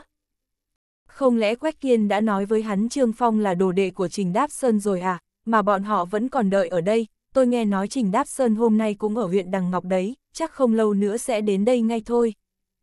Nhìn dáng vẻ của họ vừa nãy thì chắc là Quách Kiên đã nói rồi, chỉ là tên Lâm Thanh Diện đó có vẻ không muốn đi mà cứ ở đây đợi, chẳng nhẽ đang muốn chờ Trình Đáp Sơn đến à? Bọn họ muốn đấu với Trình Đáp Sơn sao? Đừng có đùa, Trình Đáp Sơn là đại sư khổ luyện số một thành phố Bảo Vân, thực lực của Lâm Thanh Diện cho dù mạnh, có thể chơi một đấu hai, nhưng với trình độ như vừa nãy thì hắn ta tuyệt đối không phải là đối thủ của Trình Đáp Sơn. Đúng đấy, Trình Đáp Sơn từ xưa đã có thể một đấu mười, hơn nữa chỉ cần mười mấy chiêu là có thể hạ gục được một người, mà Lâm Thanh Diện đánh với hai người đã mất sức như thế rồi, làm sao có thể làm đối thủ của Trình Đáp Sơn được chứ, đúng là nực cười. Không lâu sau, khu vực cửa vào sàn đấu ngầm đột nhiên náo loạn, mọi người đều vội vã tránh sang hai bên để tạo thành một con đường, sau đó, có một người đàn ông trông lôi thôi lếch thếch, bện tóc kiểu châu Phi, khuôn mặt hung dữ bước vào trong. Ông ta đến bên cạnh thi thể của Trương Phong xem một lượt, sau đó quét mắt qua khán giả, trên người ông ta tỏa ra một luồng sát khí mạnh mẽ. Tên chán sống nào dám giết đồ đệ của ta, mau bước ra đây, hôm nay ông đây nhất định phải xé ngươi ra làm trăm mảnh. Audio điện tử võ tấn bền chương 476, Ba Chiêu một thuộc hạ của Trương Phong nhanh chóng chạy đến chỗ Trình Đáp Sơn, sau đó giơ tay chỉ về hướng Lâm Thanh Diệt, hét lên, chính là hắn, chính là tên tiểu tử đó đã đánh chết đại ca của chúng tôi.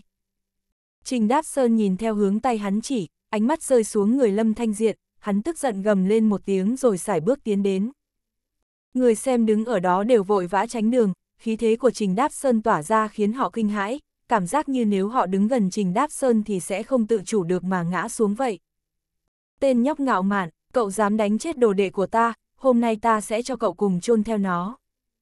Tên nhóc này thảm rồi, nhìn Trình Đáp Sơn kia, sợ là không xé hắn làm trăm mảnh thì không thể xả được cơn giận này đâu. Không ít người hướng về Trình Đáp Sơn và Lâm Thanh Diện nhìn không chớp mắt, có người thậm chí còn trao cho Lâm Thanh Diện cái nhìn thông cảm. Quách Kiên nhìn thấy Trình Đáp Sơn thì đến thì hai chân run lẩy bẩy, khi Trình Đáp Sơn sắp đi đến trước mặt bọn họ rồi, Quách Kiên nghiến răng, sau đó bước ra, đứng chặn trước mặt Trình Đáp Sơn. Đại sư Trình, đồ đệ của ông là do đấu thua trên võ đài nên mới bị đánh chết, luật lệ trên võ đài ông chắc cũng hiểu rõ mà, chân tay không có mắt, bị đánh chết cũng là chuyện thường, dù gì thì chuyện này cũng đã được đồng ý trước khi lên võ đài rồi, tôi thấy ông nên bình tĩnh lại trước đã, nếu ông cứ thế này mà ra tay, chỉ sợ sau này sẽ có người nói ông thua mà không chịu nhận, điều này sẽ làm ảnh hưởng đến uy danh đại sư khổ luyện của ông đấy. Quách Kiên lên tiếng. Trình Đáp Sơn nghe Quách Kiên nói vậy thì trừng mắt với anh, ông ta lạnh lùng nói, cậu là cái thá gì mà đòi quản chuyện của tôi, mau cút ra, nếu không lát nữa tôi xử lý cả cậu chung với bọn họ đấy. Quách Kiên nghiến răng đáp lời, Đại sư Trình, tôi nói thật lòng đấy, tất cả những người có mặt ở đây đều đã chứng kiến, nếu không tin ông có thể hỏi người khác xem, đồ đệ của ông cũng là một trong những người quản lý sàn đấu này, cho dù là anh ta thì cũng phải tuân thủ theo quy tắc của sàn đấu, xuống võ đài rồi thì cho dù có ân oán cá nhân cũng không giải quyết trong phạm vi của võ đài, nếu không thì lên sàn rồi đấu. Trình Đáp Sơn là đệ nhất đại sự của thành phố Bảo Vân, đương nhiên sẽ có chút kiêu ngạo, ông ta rất coi trọng danh tiếng của bản thân mình, vừa rồi khi thấy đồ đệ mình đã chết nên đã kích động quá mức, cho nên mới muốn trực tiếp động thủ với Lâm Thanh Diệt, bây giờ nghe Quách Kiên nói xong, ông ta lại thấy như vậy cũng hợp lý. Ông ta dừng lại, nhìn Lâm Thanh Diện lạnh lùng hỏi, thằng nhóc, cậu có dám lên võ đài với tôi không? Quách Kiên vội vàng quay đầu nháy mắt với Lâm Thanh Diện, trong lòng nghĩ đây chính là cơ hội lớn nhất mà anh ta có được rồi, chỉ cần Lâm Thanh Diện từ chối thôi, với địa vị của Trình Đáp Sơn, chắc chắn ông ta sẽ không ra tay với Lâm Thanh Diện ở đây, như vậy ít nhất thì Lâm Thanh Diện vẫn còn có cơ hội chạy trốn.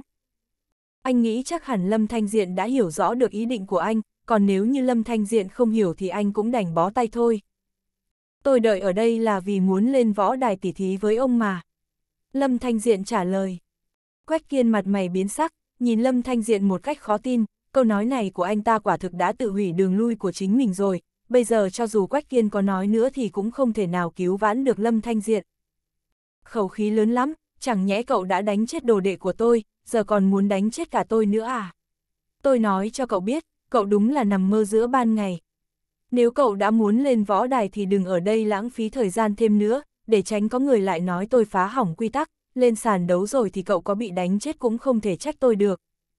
Nói xong, Trình Đáp Sơn chạy như bay sông lên võ đài. Lâm Thanh Diện cũng không chần chừ, lập tức theo sau ông ta. Anh Trần, chẳng nhẽ anh không lo lắng chút nào sao, sức mạnh của Trình Đáp Sơn không thể xem thường được đâu. Quách Kiên sốt ruột nói. Trần Tài Anh vừa cười vừa nhìn Quách Kiên, anh đáp lời, Lâm Thanh Diện còn không sợ thì cậu sợ cái gì, cứ ngồi mà xem đi, nếu thực sự không đánh lại được thì Lâm Thanh Diện đã không lên võ đài rồi. Quách Kiên bỗng nhiên cũng có cảm giác như hoàng đế không vội thái giám đã vội, Trần Tài Anh nói cũng đúng, dù gì thì người lên võ đài cũng không phải là mình, mà sự việc này cũng có cách nào thay đổi được nữa rồi, không bằng cứ ngồi mà xem thôi. Khán giả thấy Lâm Thanh Diện và Trình Đáp Sơn cùng lên võ đài thì tất thảy đều kinh ngạc, lập tức bao quanh bốn phía võ đài. Tên nhóc này đúng là không sợ chết, lại còn dám lên đấu với Trình Đáp Sơn chứ, đúng là không biết hắn giỏi thật hay giả vờ nữa. Một số người lầm nhầm một mình, rõ ràng họ đều không tin tưởng Lâm Thanh Diện. Trình Đáp Sơn và Lâm Thanh Diện đứng đối diện nhau, Trình Đáp Sơn nhìn Lâm Thanh Diện lạnh lùng nói, thằng nhóc, Trương Phong là đồ đệ yêu quý nhất của ta, cậu lại giết chết nó rồi, thế thì đừng trách ta ra tay tàn nhẫn. Chỉ sợ ông sẽ phải tuấn táng cùng đồ đệ của mình thôi. Lâm Thanh Diện thờ ơ trả lời. Đúng là đồ nói khoác không biết ngượng, cậu cứ như thế đi, không cần đến 20 chiêu, ta có thể khiến cậu mãi mãi quỷ dưới đất không đứng dậy được. Trình Đáp Sơn lạnh giọng hừ một tiếng. 20 chiêu nhiều quá, ba chiêu thôi, như ông nói, khiến ông mãi mãi quỷ dưới đất không đứng dậy được. Lâm Thanh Diện đưa tay giơ số 3. Trình Đáp Sơn lập tức cười như điên, ông ta hướng về khán giả hỏi, mọi người nghe thấy hết chứ, hắn nói chỉ cần ba chiêu có thể khiến ta mãi mãi quỷ dưới đất, đây có phải chuyện buồn cười nhất mà mọi người được nghe hôm nay không? Mọi người đứng bên dưới cũng cười lớn, chuyện này đối với bọn họ quả thực là một câu chuyện cười. Nhìn thấy chưa, trong mắt họ cậu cũng chỉ như một trò đùa thôi, người có thể đánh bại Trình Đáp Sơn ta trong vòng ba chiêu, trên thế giới này có tồn tại, nhưng chắc chắn không phải là cậu. Trình Đáp Sơn nhìn sang Lâm Thanh Diện. Được hay không thì đánh là biết, đừng nhiều lời nữa. Lâm Thanh Diện lên tiếng. Trình Đáp Sơn lại hừ một tiếng, không nói gì thêm nữa, ông ta hướng thẳng Lâm Thanh Diện xông lên, cả võ đài đều rung lên theo từng bước chân của ông ta. Lâm Thanh Diện vẫn đứng nguyên tại chỗ không di chuyển, hai mắt dán chặt vào Trình Đáp Sơn, quan sát cách ra đòn của ông ta. Quách Kiên không muốn nhìn thấy cảnh tượng tiếp theo nên khi Trình Đáp Sơn xông đến chỗ Lâm Thanh Diện, anh đã dứt khoát quay người, xoay lưng về phía võ đài. Ngay tại khoảnh khắc trước khi Trình Đáp Sơn chạm được vào Lâm Thanh Diện, bàn tay Lâm Thanh Diện đột ngột giơ lên, hướng thẳng xuống bóp cổ Trình Đáp Sơn với tốc độ cực nhanh. Đôi đồng tử của Trình Đáp Sơn co lại ngay tức khắc, theo sau đó là nỗi sợ khó kiềm chế nổi đang dâng lên trong lòng. Ông phát hiện mình chỉ có thể dương mắt nhìn bàn tay của Lâm Thanh Diện bóp lấy cổ mình, mà tốc độ phản ứng của cơ thể ông hoàn toàn không thể theo kịp tốc độ của Lâm Thanh Diện. Sau khi Lâm Thanh Diện nắm được cổ Trình Đáp Sơn, anh liền dùng lực mạnh mẽ quăng xuống dưới đất, cả người Trình Đáp Sơn bị Lâm Thanh Diện quay nửa vòng trên không, ngã xuống dưới đất, sau đó, Lâm Thanh Diện đá mạnh vào đầu gối Trình Đáp Sơn, bắt ông ta vào tư thế quỷ gối, mặt hướng lên Lâm Thanh Diện, không thể cử động. Ba chiêu Chỉ với đúng ba chiêu, Lâm Thanh Diện đã khiến Trình Đáp Sơn phải quỳ xuống trước mặt mình, bởi vì màn này diễn ra quá nhanh, nên những người đứng dưới võ đài còn chưa kịp phản ứng lại. Trình Đáp Sơn chỉ kịp cảm thấy đầu mình quay vòng vòng, sau đó từ dưới đầu gối truyền đến một cơn đau nhói, khi ông ta định thần lại được thì phát hiện mình đã quỳ trước mặt Lâm Thanh Diệt. Ông ta định nhanh chóng đứng dậy, tiếp tục đấu với Lâm Thanh Diệt, nhưng ngay giây tiếp theo, ông ta lại phát hiện ra hai chân mình đã mất cảm giác, ông ta không còn khả năng tự mình đứng dậy được nữa. Không, không thể nào, ba chiêu, cậu ta thực sự chỉ dùng có ba chiêu, thế giới này làm sao lại có người mạnh như thế được. Đầu gối của tôi, không, tôi không muốn trở thành người tàn phế. Trình Đáp Sơn gào thét trong lòng. Nhưng bất cứ cảm xúc nào bây giờ cũng đều là vô ích, kết cục đã rõ, không ai có thể thay đổi được. Lúc này khán giả dưới võ đài mới phản ứng lại sau chấn động vừa nãy, sau đó cả sàn đấu như sôi sục cả lên, tất cả mọi người đều tán dương từ tận đáy lòng, ba chiêu vừa rồi của Lâm Thanh Diện như mây bay nước chảy, nhưng uy lực cực mạnh, hoàn toàn vượt xa khỏi trí tưởng tượng của mọi người. Lợi hại quá, thực sự quá lợi hại, ôi trời ơi, người này đúng là thần tiên hạ phàm rồi. Mẹ ơi, ngầu quá đi mất, chỉ mấy chiêu đơn giản như thế mà có thể khiến cho đại sư khổ luyện quỳ dưới mặt đất sao. Thảo nào người ta dám tỏ ra ngầu như thế, hóa ra là có thực lực thật, xem ra tôi đã nhìn nhầm người mất rồi. Quách kiên nghe thấy tiếng bàn tán xôn xao của mọi người xung quanh liền nhíu mày, thầm nghĩ Lâm Thanh Diện không bị giải quyết nhanh đến thế chứ. Nhưng nghe phản ứng của khán giả thì thực sự là có khả năng, thật đáng tiếc, anh đã sớm nhắc nhở Lâm Thanh Diện rồi mà anh ta không nghe, bây giờ thì trách ai cũng vô dụng. Quách kiên chậm chậm xoay người, nhìn lên võ đài, sau đó, cả người anh liền cứng đơ, cảm như sắp rơi xuống đất. Anh không nhìn thấy cảnh Lâm Thanh Diện bại trận dưới tay Trình Đáp Sơn, mà thay vào đó là Trình Đáp Sơn quỳ trước mặt Lâm Thanh Diện, không thể phản kháng. chương 477, sự bất lực của Trung Thiên Nguyên. Sao, sao lại có thể, mình bị hoa mắt à? Trình Đáp Sơn lại quỳ trước Lâm Thanh Diện sao? Quách Kiên tự lầm bầm một câu. Cậu không hoa mắt đâu, tên Trình Đáp Sơn đó vốn dĩ không phải đối thủ của anh Diện mà. Lý Huỳnh Thái bên cạnh mở miệng nói một câu. Quách Kiên quay đầu hỏi Lý Huỳnh Thái, vậy, vậy anh ấy dùng mấy chiêu thì đánh được Trình Đáp Sơn thành thế kia? Ba chiêu, nãy cậu không nghe thấy à? Anh Diện đã nói chỉ dùng ba chiêu thì chắc chắn sẽ chỉ dùng ba chiêu thôi. Lý Huỳnh Thái thản nhiên nói. Quách Kiên cố gắng nuốt khan, hai mắt nhìn chằm chằm vào Lâm Thanh Diện, rất lâu rất lâu vẫn không nói nên lời. Một lúc sau, Quách Kiên mới mở miệng, không khoa học chút nào, tại sao anh ấy đánh Trương Phong và Tam Khang mất nhiều thời gian như thế, mà đánh với Trình Đáp Sơn lại chỉ dùng có ba chiêu thôi.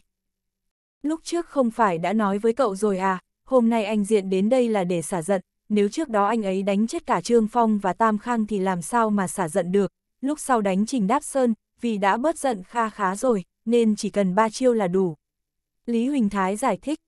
Quách Kiên nhìn lên Lâm Thanh Diện trên võ đài với vẻ mặt phức tạp, khi một người có thể tùy ý khống chế số lượng đòn đánh ra để hạ gục đối thủ, thì người ấy phải mạnh đến mức nào chứ? Chẳng trách Trần Tài Anh và Lý Huỳnh Thái lại kính nể Lâm Thanh Diện đến vậy, sau này đừng gọi là anh Lâm Thanh Diện, cho dù có bảo anh gọi là ông nội Lâm Thanh Diện thì anh cũng không ý kiến.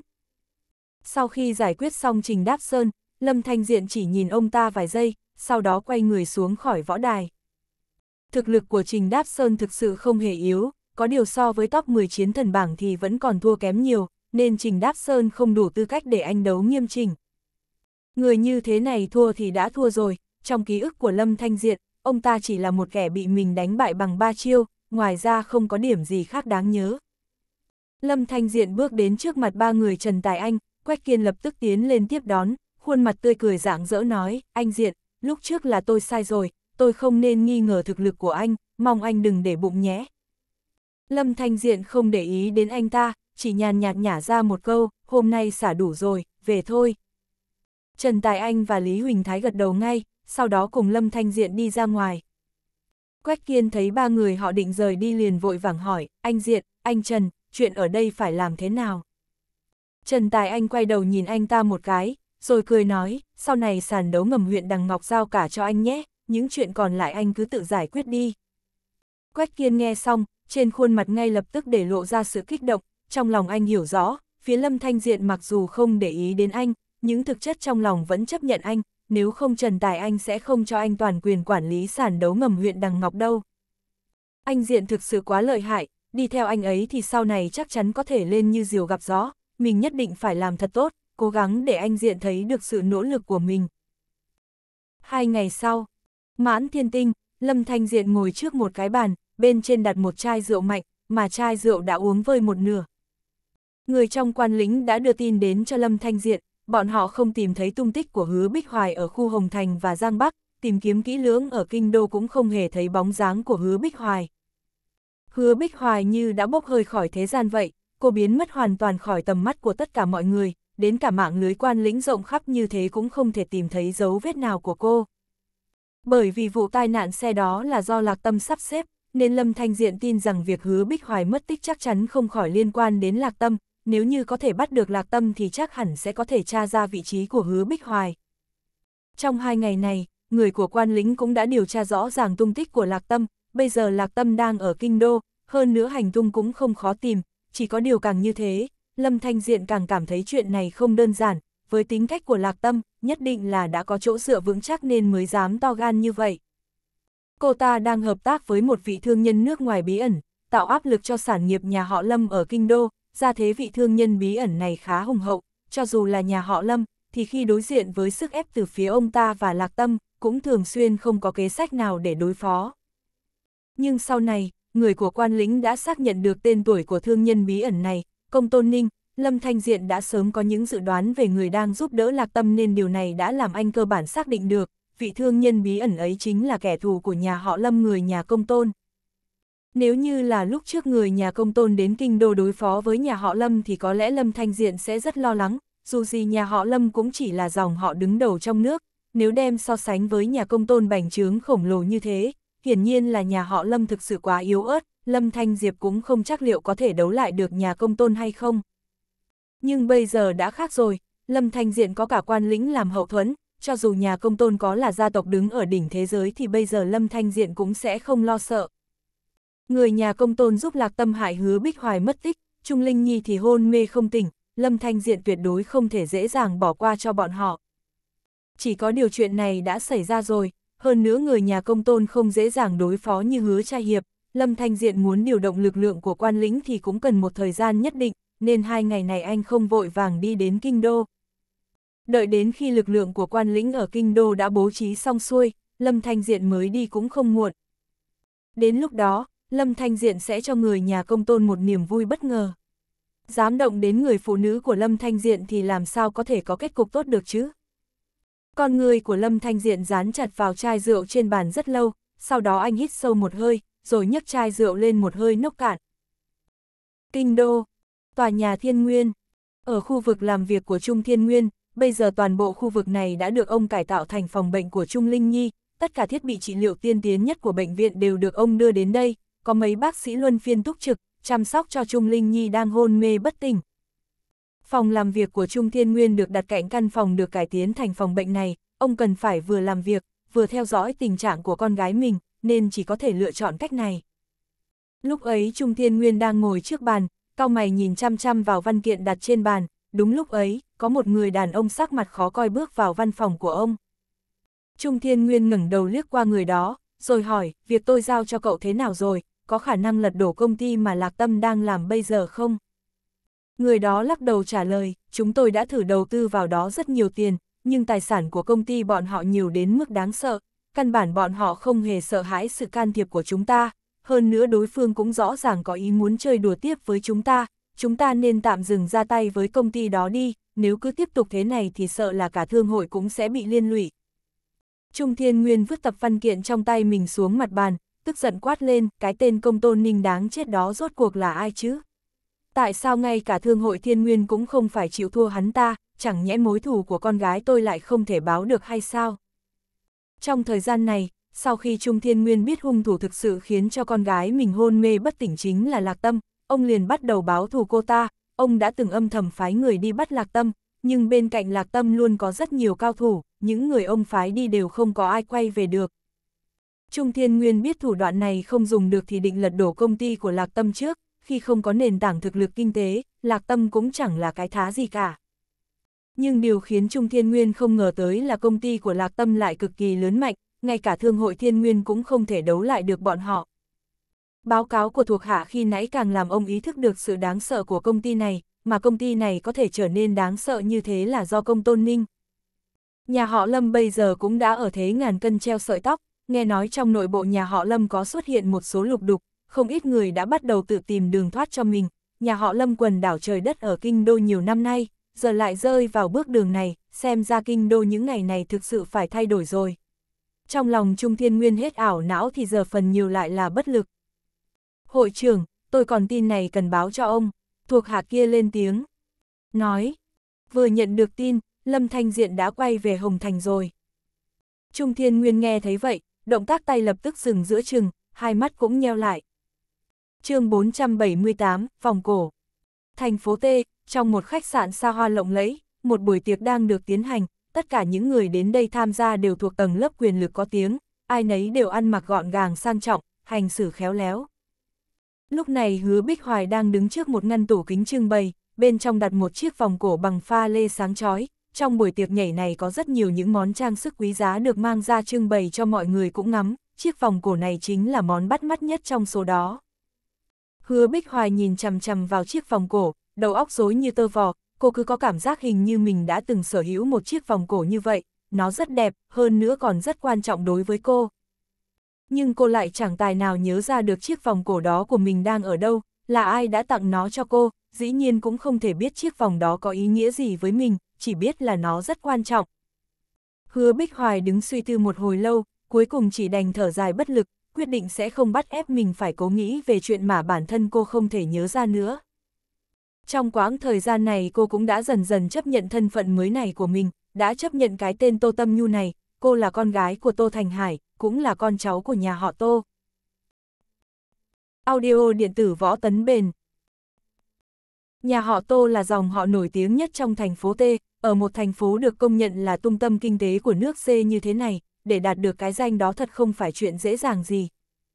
Sự hiểu biết của hứa Bích Hoài Tình về nhà họ Tô càng tăng lên thì cô cũng dần nhận thấy được rằng năng lực của nhà họ Tô vượt xa những gì cô hằng tưởng tượng, cái danh dòng họ có tiếng nhất thành phố cũng chỉ là một bức màn để họ che giấu đi quyền lực thật sự của mình, nhà họ Tô thật ra đã đứng vào hàng một trong những gia tộc thuộc tầng lớp cao nhất trên thế giới từ lâu. Chỉ có những người có thể đạt đến cấp bậc ngang bằng thì mới có thể biết đến địa vị của nhà họ Tô, tất cả các dòng họ và các tập đoàn thành chính cấp cao trên thế giới không ai là không biết rõ thực lực của gia đình họ. Chẳng qua là trong số các thế lực có máu mặt ở thành phố T này không có mấy người biết chuyện, một số dòng họ và xí nghiệp thường xuyên đối đầu với nhà họ Tô thì vẫn luôn cho rằng nhà họ Tô thuộc cùng cấp bậc với mình, không hề ngờ rằng thật ra nhà họ Tô chỉ cần khẽ vung tay thôi là cũng đủ để làm bọn họ phá sản rồi. Lý do khiến Tô Thành Hải quyết định che giấu thực lực của gia tộc mình một phần là vì ông không có hứng thú gì với việc tranh đấu giữa các dòng tộc và tập đoàn cấp cao trên thế giới, phần còn lại cũng là vì hứa Bích Hoài đứa con gái mà ông đã tìm kiếm rất lâu rồi. Hứa Bích Hoài cũng có thể cảm nhận được tình thương của Tô Thành Hải, bởi vì không còn nhớ chuyện gì trước kia nên lòng cô cũng đã chấp nhận việc Tô Thành Hải là ba của mình. Nhưng điều khiến hứa Bích Hoài cảm thấy có hơi khó hiểu chính là dù cô là con gái của Tô Thành Hải nhưng tại sao cô lại cứ có cảm giác như những người bên cạnh ông đều đối xử với cô như người lạ. Ở đây cô không có lấy một người bạn nào, trừ Tô Thành Hải ra thì không còn ai biết đến quá khứ của cô nữa. Tô Thành Hải đã từng giải thích với hứa Bích Hoài rằng hơn 20 năm qua cô vẫn luôn sinh sống ở một nơi khác, và ông quyết định đưa cô đi là vì muốn đảm bảo sự an toàn của cô. Trong sự yêu chiều của Tô Thành Hải dành cho cô cũng có xen lẫn cả sự quan tâm lo lắng, cô có thể cảm nhận được điều đó rất rõ ràng, thế nên cũng đã tin vào lời giải thích của ông.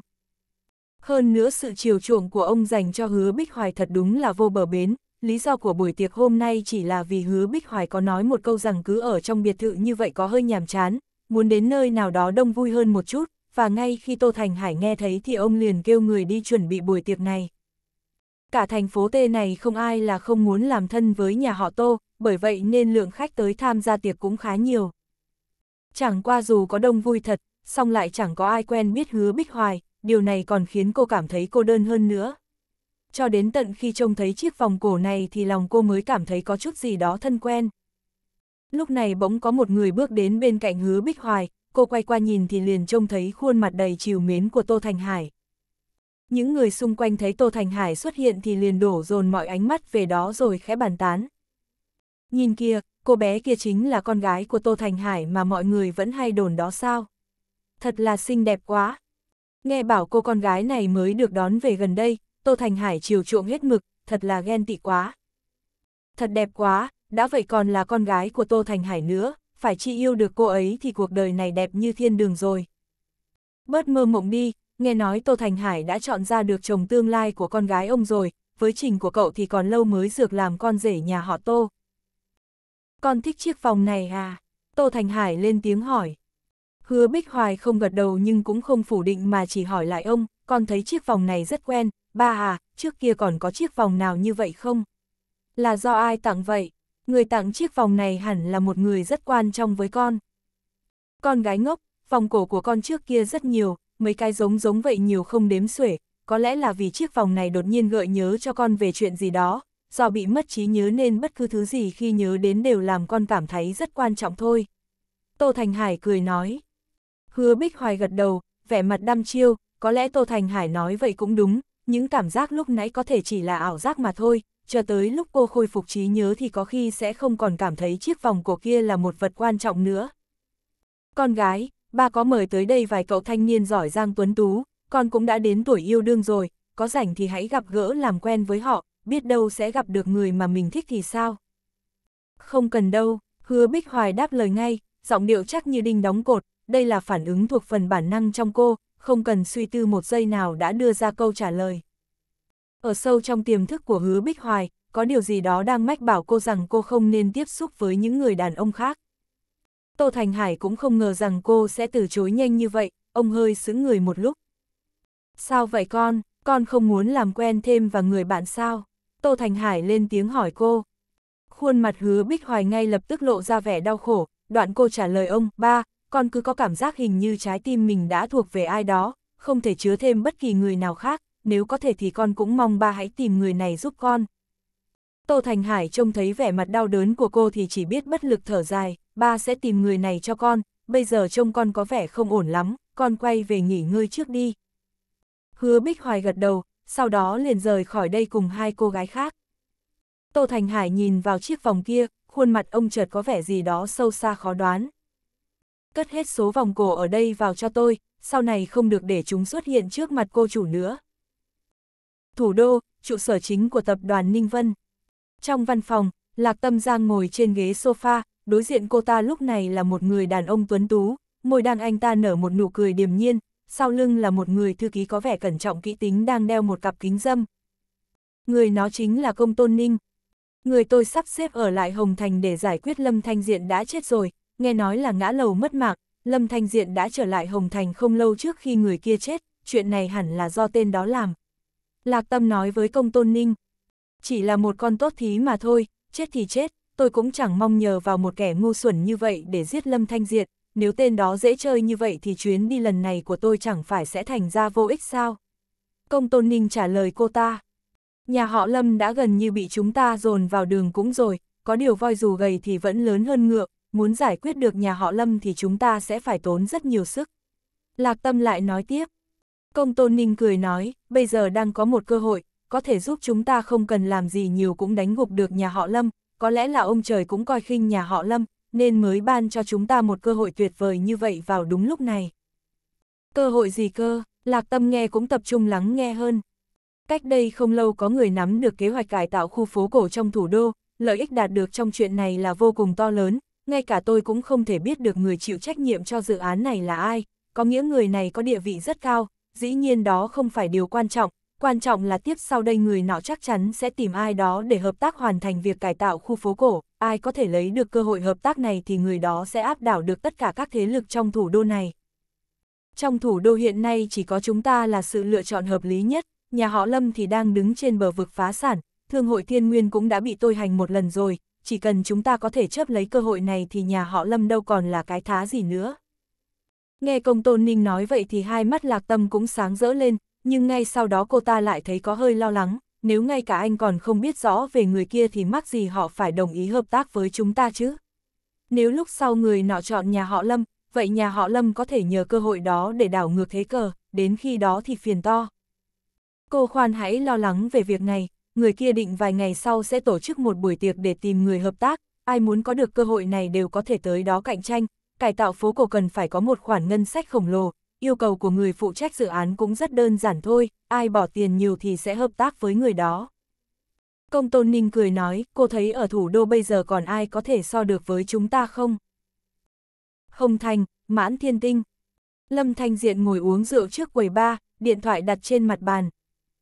Ngay lúc này thì chuông điện thoại của anh chợt vang lên, sau khi nhấc máy thì có một giọng nói trầm thấp khỏe khoắn vang lên từ đầu dây bên kia, chuyện ở thủ đô đã được sắp xếp ổn thỏa, có thể lên đường rồi chương 479, vứt hai người xuống. Trên chuyến tàu cao tốc tới thủ đô, Lâm Thanh Diện ngồi ghế gần sát của sổ nhắm mắt nghỉ ngơi, đàn tàu tới chạm thì ngừng lại, đoàn người ngược xuôi lên xuống. Không lâu sau Lâm Thanh Diện chợt cảm thấy có ai đó đang đẩy đẩy đầu mình, anh mở mắt nhìn qua thì trông thấy một cô gái ăn mặc thời thượng đứng trước mặt mình. Cô gái tầm 20 tuổi, uốn tóc xoăn, đôi mắt rất to, cũng thuộc hàng xinh đẹp. Sao vậy? Lâm Thanh Diện lên tiếng hỏi. Anh ra bên ngoài mà ngồi, tôi muốn ngồi ghế sát cửa sổ. Cô gái nói với vẻ huynh hoang. Lâm Thanh Diện khẽ nhíu mày rồi nói, đây là chỗ của tôi. Chỗ của anh thì sao? Tôi muốn ngồi chỗ này thì anh phải tránh ra cho tôi, sao anh không ý tứ gì hết vậy? Cô gái kia hung dữ nói. Lâm Thanh Diện cạn lời với cô ra, anh hỏi vặn lại, nếu cô là người già hoặc phụ nữ có thai thì tôi có thể nhường cho cô, cô thuộc tình huống nào trong số đó vậy? Cô gái kia nghe vậy liền nổi đoá, lớn tiếng nói, anh nói ai là người già hả? Mau xin lỗi tôi ngay. Lâm Thanh Diện không thèm để ý cô ta nữa, anh nhắm mắt lại. Cô gái kia thấy Lâm Thanh Diện không đoái hoài gì tới mình thì cảm thấy vô cùng tức giận. Nhưng người ngồi quanh thấy cô gái này mặc toàn hàng hiệu, vừa nhìn là biết ngay đây là con nhà giàu, thế nên họ cũng không dám chọc vào, cứ vậy nhìn cô ta nổi giận. Không lâu sau, một người đàn ông cũng sắp xỉ tuổi cô gái kia đi đến, anh ta bước tới cạnh cô dí kia rồi hỏi, tiểu nhã, em sao vậy? Lăng tiểu nhã trông thấy người ca thì liền nói ngay, vẻ mặt uất ức, lục đào, anh mau dạy cho cái tên không hiểu chuyện này một bài học, em muốn anh ta đổi chỗ vì em muốn ngồi gần cửa sổ, vậy thôi mà anh ta lại không đồng ý, tức quá mà.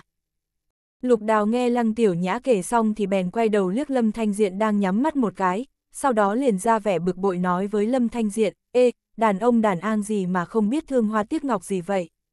Cô ấy là con gái, anh nhường một chút thì đã sao. Mau đổi chỗ đi, đừng để tôi phải nói nhiều. Em đã nói đừng mua vé khoang hạng hai mà, đám người ở đây không hiểu kiểu gì luôn, nếu anh mua vé hạng thương gia thì chúng ta đâu phải bị khinh khi như vậy chứ. Lăng tiểu nhã giận dỗi nói với lục đào. Lục đào cũng vội vàng xin lỗi cô ta, anh sai rồi, tiểu nhã, tại anh không mua được vé hạng thương gia, lần sau anh sẽ rút kinh nghiệm. Mọi người trong khoang tàu nghe thấy cuộc đối thoại của hai người họ thì đều cảm thấy có đôi chút khó chịu, nhưng vì ngại phiền toái nên cũng không ai đứng ra nói gì cả. Lăng tiểu nhã tại tức tối lườm lâm thanh diện một cái, chợt nhận ra là anh vẫn giữ y tư thế cũ, không hề chuyển động mảy may. Anh nhìn tên đó kìa, rõ ràng đang khinh thường chúng ta, anh ta còn chẳng thèm nghe anh nói gì nữa. Lục đào cũng bắt đầu thấy hơi bực, lúc nãy anh ta vừa nói chuyện với Lâm Thanh Diện vậy mà Lâm Thanh Diện lại chẳng thèm nói năng gì, thái độ này khiến một người trẻ tuổi huynh hoang như anh ta cảm thấy khó lòng chấp nhận được. Hơn nữa cả Lục Đào và Lăng Tiểu Nhã đều là những cậu ấm cô chiêu từ các gia tộc lớn ở nơi bọn họ sinh sống, tuy rằng thành phố đó cũng không phải nổi tiếng gì, nhưng từ bé đến giờ cũng được sống an nhàn sung túc. Chú họ của Lục Đào gần đây đang làm việc chung một người rất có quyền thế ở thủ đô, hai người họ đang trên đường đến thủ đô tìm người chú kia, cũng để hiểu biết việc đời hơn. Nghĩ đến việc mình sắp theo chú họ đi gặp một người có máu mặt, hiểu biết chuyện quốc gia đại sự, ấy vậy mà giờ đây lại bị một tên ất ơ chỉ mua được vé hạng hai coi khinh, lục đào lại cảm thấy vô cùng tức giận. Anh không nghe thấy tôi nói gì à? Tôi cho anh thời gian 3 giây, mau đứng lên cho tôi, nếu không đừng trách tại sao nước biển lại mặn. Lâm Thanh Diện vẫn chẳng nói chẳng rằng, cứ thế nhắm mắt mặc kệ mọi âm thanh bên ngoài. Một, hai, lục đào bắt đầu đếm ngược, lúc này thì anh ta đã giận đến tím cả người rồi, trong khoang tàu có nhiều người nhìn như vậy, nếu Lâm Thanh Diện chẳng chịu nể mặt anh ta thì anh ta chắc chắn sẽ ra tay dạy dỗ Lâm Thanh Diện. Mọi người xung quanh thấy cảnh này thì chỉ biết lắc đầu ngao ngán, rõ ràng bọn họ cũng bất lực với sự cứng đầu của hia người này. Cậu trai này đúng là gan thật, dám đối đầu với hai người kia, trông cậu ta có vẻ rất bình thường, chắc chắn không thể nào đấu lại đám con cháu nhà giàu như vậy. Đúng là nể lá gan của cậu ta thật, nhưng hình như cậu ta có hơi ngốc thì phải, cứ nhắm mắt ngồi đó, nếu tên kia muốn đánh thật thì sao cậu ta chắn lại kịp. Gặp chuyện như vậy đã bực lắm rồi, hy vọng cậu ta sẽ không gặp phải chuyện phiền phức gì, cứ chịu thua trước rồi nhường chỗ, có lẽ cũng sẽ không xảy ra chuyện gì to tát. 3. Lục đào đếm xong nhưng lại thấy Lâm Thanh Diện vẫn ngồi im đấy, anh ta không nói thêm gì mà cứ thế vung tay định đánh vào mặt anh. Mọi người xung quanh thấy thế thì bèn lắc đầu ngao ngán, thậm chí có người còn định lên tiếng nhắc nhở Lâm Thanh Diệt, nhưng cuối cùng cũng không dám lên tiếng. Ngay khi bàn tay của lục đào sắp chạm vào khuôn mặt của Lâm Thanh Diện thì anh đột nhiên đưa tay lên, qua một phát là đã túm được cổ tay của lục đào, khiến anh ta không thể chuyển động thêm được nữa. Lục đào giật thoát người, rõ ràng lúc nãy anh ta thấy Lâm Thanh Diện đang nhắm mắt, đâu thể nào trông thấy cú đánh của mình được, thế nhưng Lâm Thanh Diện lại có thể túm lấy bàn tay anh một cách chính xác như vậy. Anh ta dùng lực cố rút tay mình về, nhưng rồi lại kinh ngạc nhận ra dù có làm thế nào thì tay mình vẫn không nhúc nhích được, cũng không thể rút tay mình ra khỏi tay Lâm Thanh Diện. Mọi người xung quanh thấy vậy thì đầu rất ngạc nhiên, không ngờ Lâm Thanh Diện nhắm cả hai mắt rồi vẫn có thể túm lấy cổ tay của Lục Đào, thật là giỏi quá. Mẹ nó, mau buông ra, chán sống rồi hả? Lục Đào vừa hét vào mặt Lâm Thanh Diện vừa gắng sức rút tay ra. Lúc này Lâm Thanh Diện đột nhiên lại buông lỏng tay, Lục Đào té cái rầm xuống đất, luôn miệng suýt xoa la đau. Mọi người trong khoang xe thấy cảnh này thì liền cười phá lên. Lăng tiểu nhã cảm thấy vô cùng bẽ mặt, chỉ muốn biến khỏi chỗ này thật mau, làm bộ như không quen biết lục đào. Lục đào vừa đứng lên vừa lấy tay xoa mông, quay đầu nhìn những người đang cười kia rồi tức tối nói cười cái gì mà cười. Còn cười nữa thì đừng trách ông đây ác. Rất nhiều người nghe vậy liền ngậm miệng vào, nhưng vẫn có người đang len lén cười, qua chuyện ban nãy thì sự sợ hãi của mọi người cũng đã phần nào giảm bớt. Lục đào, nếu anh không giải quyết được chuyện này thì em sẽ xuống chạm sau. Lăng tiểu nhã nói với lục đào. Lục đào chửi thầm trong bụng một tiếng, sau đó lại quay đầu nhìn Lâm Thanh Diện, nói cũng giỏi phết nhỉ. Có ngon thì đứng lên mà solo với anh, đảm bảo đánh đến khi mày phải quỳ dưới đất xin tha. Lúc này thì Lâm Thanh Diện mở bừng mắt rồi chừng lục đào và lăng tiểu nhã, giọng anh lạnh tanh, nếu hai người còn gây nữa thì tôi sẽ vứt hai người xuống tàu ngay. Lục đào và lăng tiểu nhã trông thấy ánh mắt sắc lẹm của Lâm Thanh Diện thì đều vô cùng sợ hãi, trong một chốc cũng không dám bật lại anh, cả hai người họ đều biết rất rõ, nếu còn không chịu nghe lời thì Lâm Thanh Diện sẽ vứt họ ra khỏi đoàn tàu này thật. Giờ thì mau chóng tìm chỗ ngồi đi, khi ra đường tốt nhát nên dẹp cái bệnh công chúa hoàng tử đó đi, không phải ai cũng chịu đựng các người được đâu. Lâm Thanh Diện nói, Lục Đào và Lăng Tiểu Nhã nghe vậy thì liền ngoan ngoãn kiếm chỗ ngồi xuống, không dám gây chuyện với Lâm Thanh Diện nữa. Mọi người xung quanh trông thấy cảnh này thì đều trầm trồ khen ngợi, vừa vui thay Lâm Thanh Diện vừa hả hê trước những gì mà hai người kia gặp phải. Trong nhà không ai trị được, ra đường sẽ tự có người dạy dỗ thôi. Sau khi Lục Đào và Lăng Tiểu Nhã ngồi xuống thì cũng không dám hó hé gì thêm, lại chừng mắt nhìn Lâm Thanh Diện với vẻ thù hằn vài lần rồi cũng không gây sự nữa. Đoàn tàu lao đi, dần dần bầu không khí trong khoang cũng dịu đi rất nhiều, rất nhiều người đã bắt đầu tám chuyện với nhau. Lâm Thanh Diện vẫn ngồi ở chỗ kia, nhưng lúc này anh không còn nhắm mắt nghỉ ngơi mà là nhìn chằm chằm vào những khung cảnh vụt qua bên ô cửa, trong lòng băn khoăn không biết giờ này hứa Bích Hoài đang làm gì, có phải chịu khổ hay không.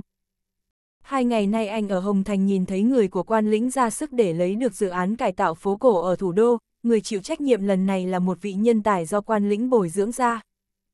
Quan lĩnh đã tồn tại không biết bao nhiêu năm, trong dòng lịch sử lâu đời đó cũng đã có nhiều nhân tài được bồi dưỡng từ đó, phân tán khắp các ngành nghề bên ngoài kia, đó cũng là lý do tại sao quan lĩnh tuy tách biệt xong lại vẫn có thể nắm trong tay mọi sự biến thiên của thời cuộc bên ngoài kia.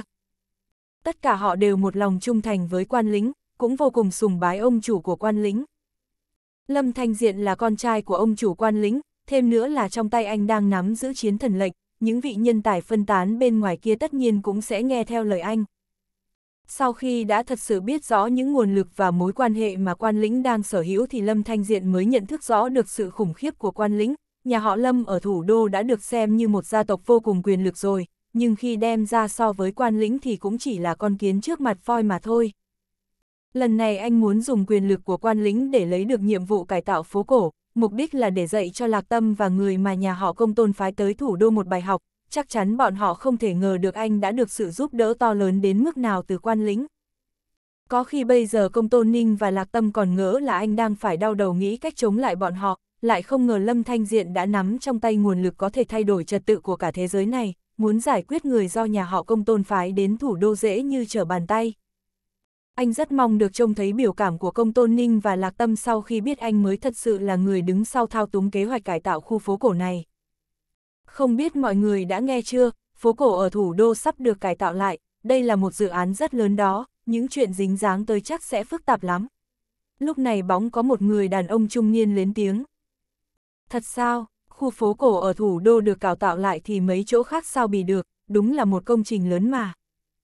Nghe nói người phụ trách dự án này là một người có quyền có thế, giờ trong thủ đô ai cũng đang nghĩ cách lấy lòng người đó, nếu có thể có một chân trong công trình này thì sẽ có được rất nhiều lợi ích. Lục đào vốn nãy giờ đang im lặng khi nghe thấy mọi người bàn đến chủ đề này thì liền bật cười, sau đó lại nói với mọi người xung quanh, cho các người biết, lần này chúng tôi đi thủ đô là để tìm chú họ tôi, chú tôi đang làm dưới chướng người có quyền có thế mà các người vừa nói đó, có khi tôi còn có thể chen chân vào kế hoạch cải tạo phố cổ lần này ấy chứ chương 480, sẽ chỉ là nhà họ Lâm. Mọi người nghe xong câu nói của Lục Đào đều tròn mắt ngạc nhiên, không ngờ Lục Đào và Lăng Tiểu Nhã lại có thể có quan hệ với một nhân vật lớn như vậy, chẳng trách hai người họ không để ai vào mắt. Việc tái thiết khu phố cổ ở Kinh Đô từ người cho đến những việc liên quan đều không có gì là đơn giản cả. Ngay cả khi chú họ của Lục Đào chỉ là người làm việc cho nhân vật lớn kia trong việc tái thiết này, thì đó cũng vẫn là người mà người thường có thể đụng vào được. Sau khi biết được thân thế của Lục Đào, những người từng cười nhạo và ghét bỏ hai người họ ngay lập tức thay đổi thái độ, trên xe của họ đều là những người đi đến kinh đô, hầu hết họ đều định cư ở đó. Nếu có thể kết bạn với những người như Lục Đào thì chắc chắn sẽ có rất nhiều chỗ tốt. Những người xung quanh đều háo hức hướng về phía Lục Đào, trên mặt mang theo nụ cười như thể họ đã hoàn toàn quên mất những gì đã xảy ra trước đó. Anh bạn, cậu thực sự rất giỏi đó còn trẻ mà đã có thể tham gia vào một sự kiện quan trọng như vậy, đúng là có triển vọng vô biên. Đúng đó cậu em, trước đây tôi lỡ có cười nhạo cậu thì cậu cũng đừng để ý làm gì nha. Gia đình tôi cũng mở công ty ở kinh đô đó, biết đâu chúng ta có thể hợp tác trong tương lai. Trước tiên hãy làm bạn với nhau ha. Cậu em thật đẹp trai và đầy triển vọng đó, bạn gái cũng xinh nữa. Đây mới là người chiến thắng thực sự trong đời đó. Nghe những người xung quanh suýt xoa, lục đào lập tức lộ ra chút đắc ý, vẻ ngượng ngùng trước đó cũng biến mất. Lăng tiểu nhã ở một bên cũng thở phào nhẹ nhõm, nhìn thấy những người xung quanh mình đột nhiên nhỏ tiếng hạ mình, cái đầu nhỏ của cô cũng ngẩng lên đầy kiêu hãnh. Cô là bạn gái của lục đào, lục đào mà càng tốt thì cô đương nhiên càng có thể diện. Cô quay đầu nhìn lướt qua Lâm Thanh Diện ở bên cạnh, thấy Lâm Thanh Diện dường như không hề có hứng thú với chuyện bọn họ đang thảo luận vẻ mặt vẫn bình tĩnh nhìn ra ngoài cửa sổ.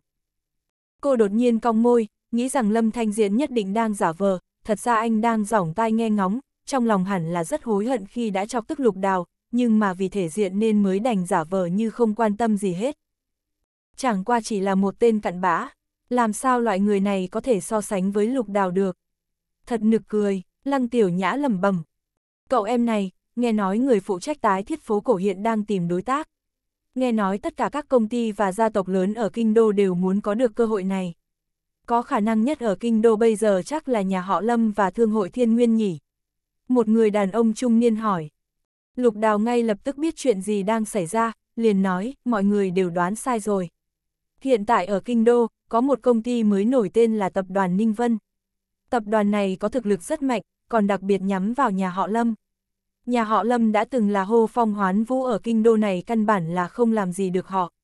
Ngay cả thương hội thiên nguyên cũng vẫn không thể cạnh tranh với họ mà. Tôi nghe tin tức từ chú họ, lần này có hy vọng nhất chính là tập đoàn Ninh Vân đó. Mọi người nghe thế đều tròn mắt, không ngờ Lục Đào lại nói rằng nhà họ Lâm danh giá lại bất lực trước một công ty mới nổi, điều này thực sự đánh gục trí tưởng tượng của họ. Tôi đã nghe nói về tập đoàn Ninh Vân rồi, bọn họ đang rất có tiếng tăm ở Kinh Đô, chỉ là điều mà tôi không ngờ là tập đoàn Ninh Vân lại hùng mạnh đến nỗi ngay cả nhà họ Lâm cũng không thể đối phó được. Người đàn ông trung niên đó nói. Nhưng mà đây cũng chỉ là phỏng đoán thôi. Dù sao thì nhà họ Lâm cũng đã xương bá ở kinh đô nhiều năm như vậy rồi, không thể nói đổ là đổ được ngay. Nếu nhà họ Lâm bị nhắm tới, tôi nghĩ thương hội thiên nguyên càng có khả năng hơn. Một người khác bày tỏ ý kiến.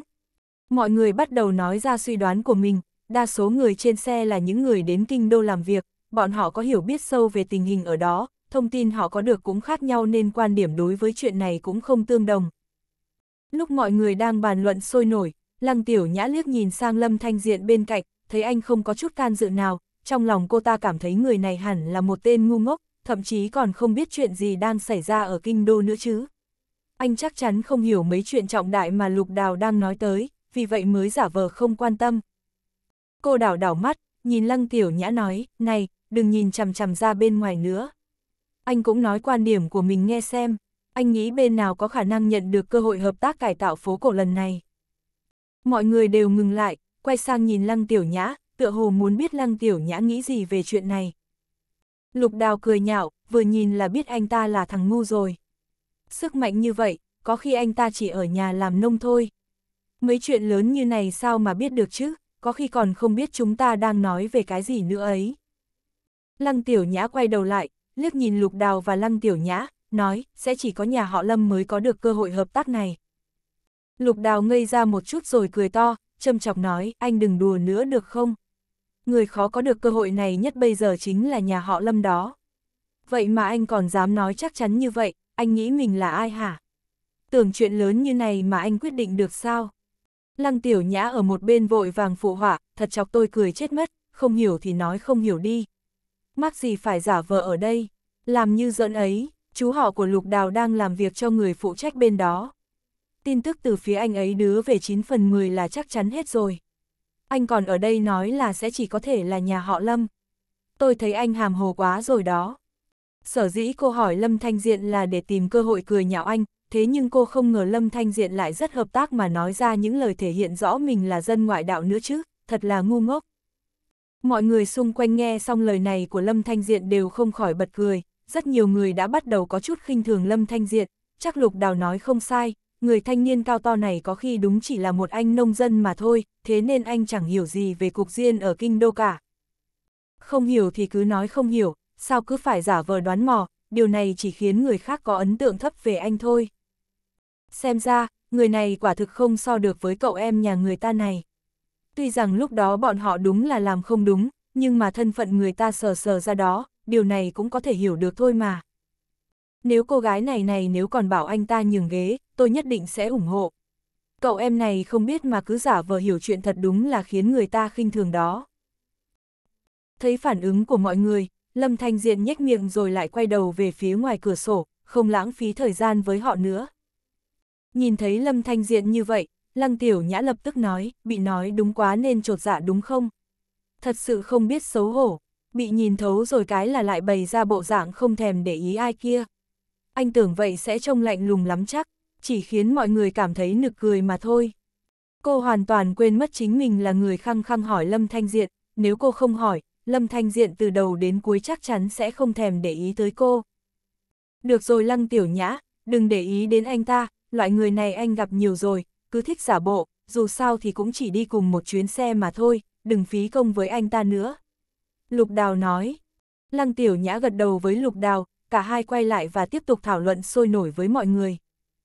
Vừa rồi Lâm Thanh Diện không nói thẳng với Lăng Tiểu Nhã rằng anh mới thật sự là người nắm quyền quyết định kế hoạch tái thiết thành phố cũ này. Người phụ trách kia chính là người của quan lính, hiện giờ anh ta đang làm việc cho Lâm Thanh Diện, chỉ cần Lâm Thanh Diện lên tiếng, việc hợp tác này có thể giao cho bất kỳ ai.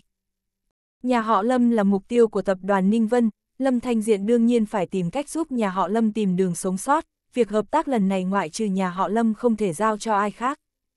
Hơn nữa anh cũng không cho phép người phụ trách tiết lộ mục tiêu quá rõ ràng, đối với bên ngoài, tập đoàn Ninh Vân vẫn là đối tác có hy vọng lớn nhất, chú họ của Lục Đào chỉ là nhân vật tầm thường bên cạnh người phụ trách, làm sao anh ta có thể biết được điều này. Mục tiêu hợp tác tái thiết thành phố cổ đã được xác định từ lâu. Lâm Thanh Diện làm như vậy là muốn cho công tôn ninh và lạc tâm hy vọng, bọn họ đương nhiên tin rằng cơ hội này sẽ rơi vào tay họ. Khi họ nghĩ rằng họ có thể mượn cơ hội tái thiết thành phố này để đánh bại nhà họ Lâm, Lâm Thanh Diện sẽ bất ngờ khiến bọn họ thấy rõ được rằng mọi thứ vốn đều đã an bài, bọn họ hoàn toàn không phải là đối thủ của Lâm Thanh Diện. Tin rằng tới lúc đó, biểu cảm trên gương mặt của cả hai sẽ khá đặc sắc đây. Khi tàu cao tốc đến ga, mọi người đứng dậy lấy hành lý xuống tàu. Lúc Lục Đào và Lăng Tiểu Nhã đứng dậy, cả hai liếc nhìn Lâm Thanh Diện một cách hằn học rồi bước ra ngoài. Lâm Thanh Diện đứng dậy, vặn lưng một cái. Sau khi xuống tàu liền nhìn bầu trời xa xăm, lần này anh nhất định phải cho Lạc Tâm một bài học thật xứng đáng. Bà ta đã chết rồi mà còn sống lại được cơ đấy, thế thì lần này Lăng Tiểu Nhã chắc chắn phải tận mắt chứng kiến bà ta tắt thở, tuyệt đối không để bà ta có cơ hội được sống. Bên ngoài ga xe lửa, Lục Đào và Lăng Tiểu Nhã bước ra và nhanh chóng nhìn thấy một chiếc BMW đậu bên lề đường, một người đàn ông mặc vest đứng bên cạnh xe. Lục Đào vội vàng lôi kéo Lăng Tiểu Nhã đi qua, đến cạnh người kia rồi anh ta vội vàng cười và hét lên, chú họ, đây là bạn gái của cháu, Tiểu Nhã. Chú họ Lục Đào cười với hai người rồi nói, mau lên xe đi, anh đưa hai đứa đến Phượng Minh Các. Hôm nay, xếp tụi anh tới đây gặp một vị khách rất quan trọng. Anh phải gấp rút đi thu xếp, hai đứa lát nữa nhớ lanh lẹ chút nhé, tuyệt đối đừng gây phiền phức cho anh đó. Khi Lục Đào và Lăng Tiểu Nhã nghe nói rằng sẽ được nhìn thấy nhân vật lớn, khuôn mặt cả hai đầy phấn khích, vội vàng gật đầu rồi lên xe. Vị khách quan trọng mà người phụ trách phải đi tiếp đón chắc chắn không phải người thường, cũng không biết là người thế nào, trong lòng Lăng Tiểu Nhã có một tia mong đợi mơ hồ.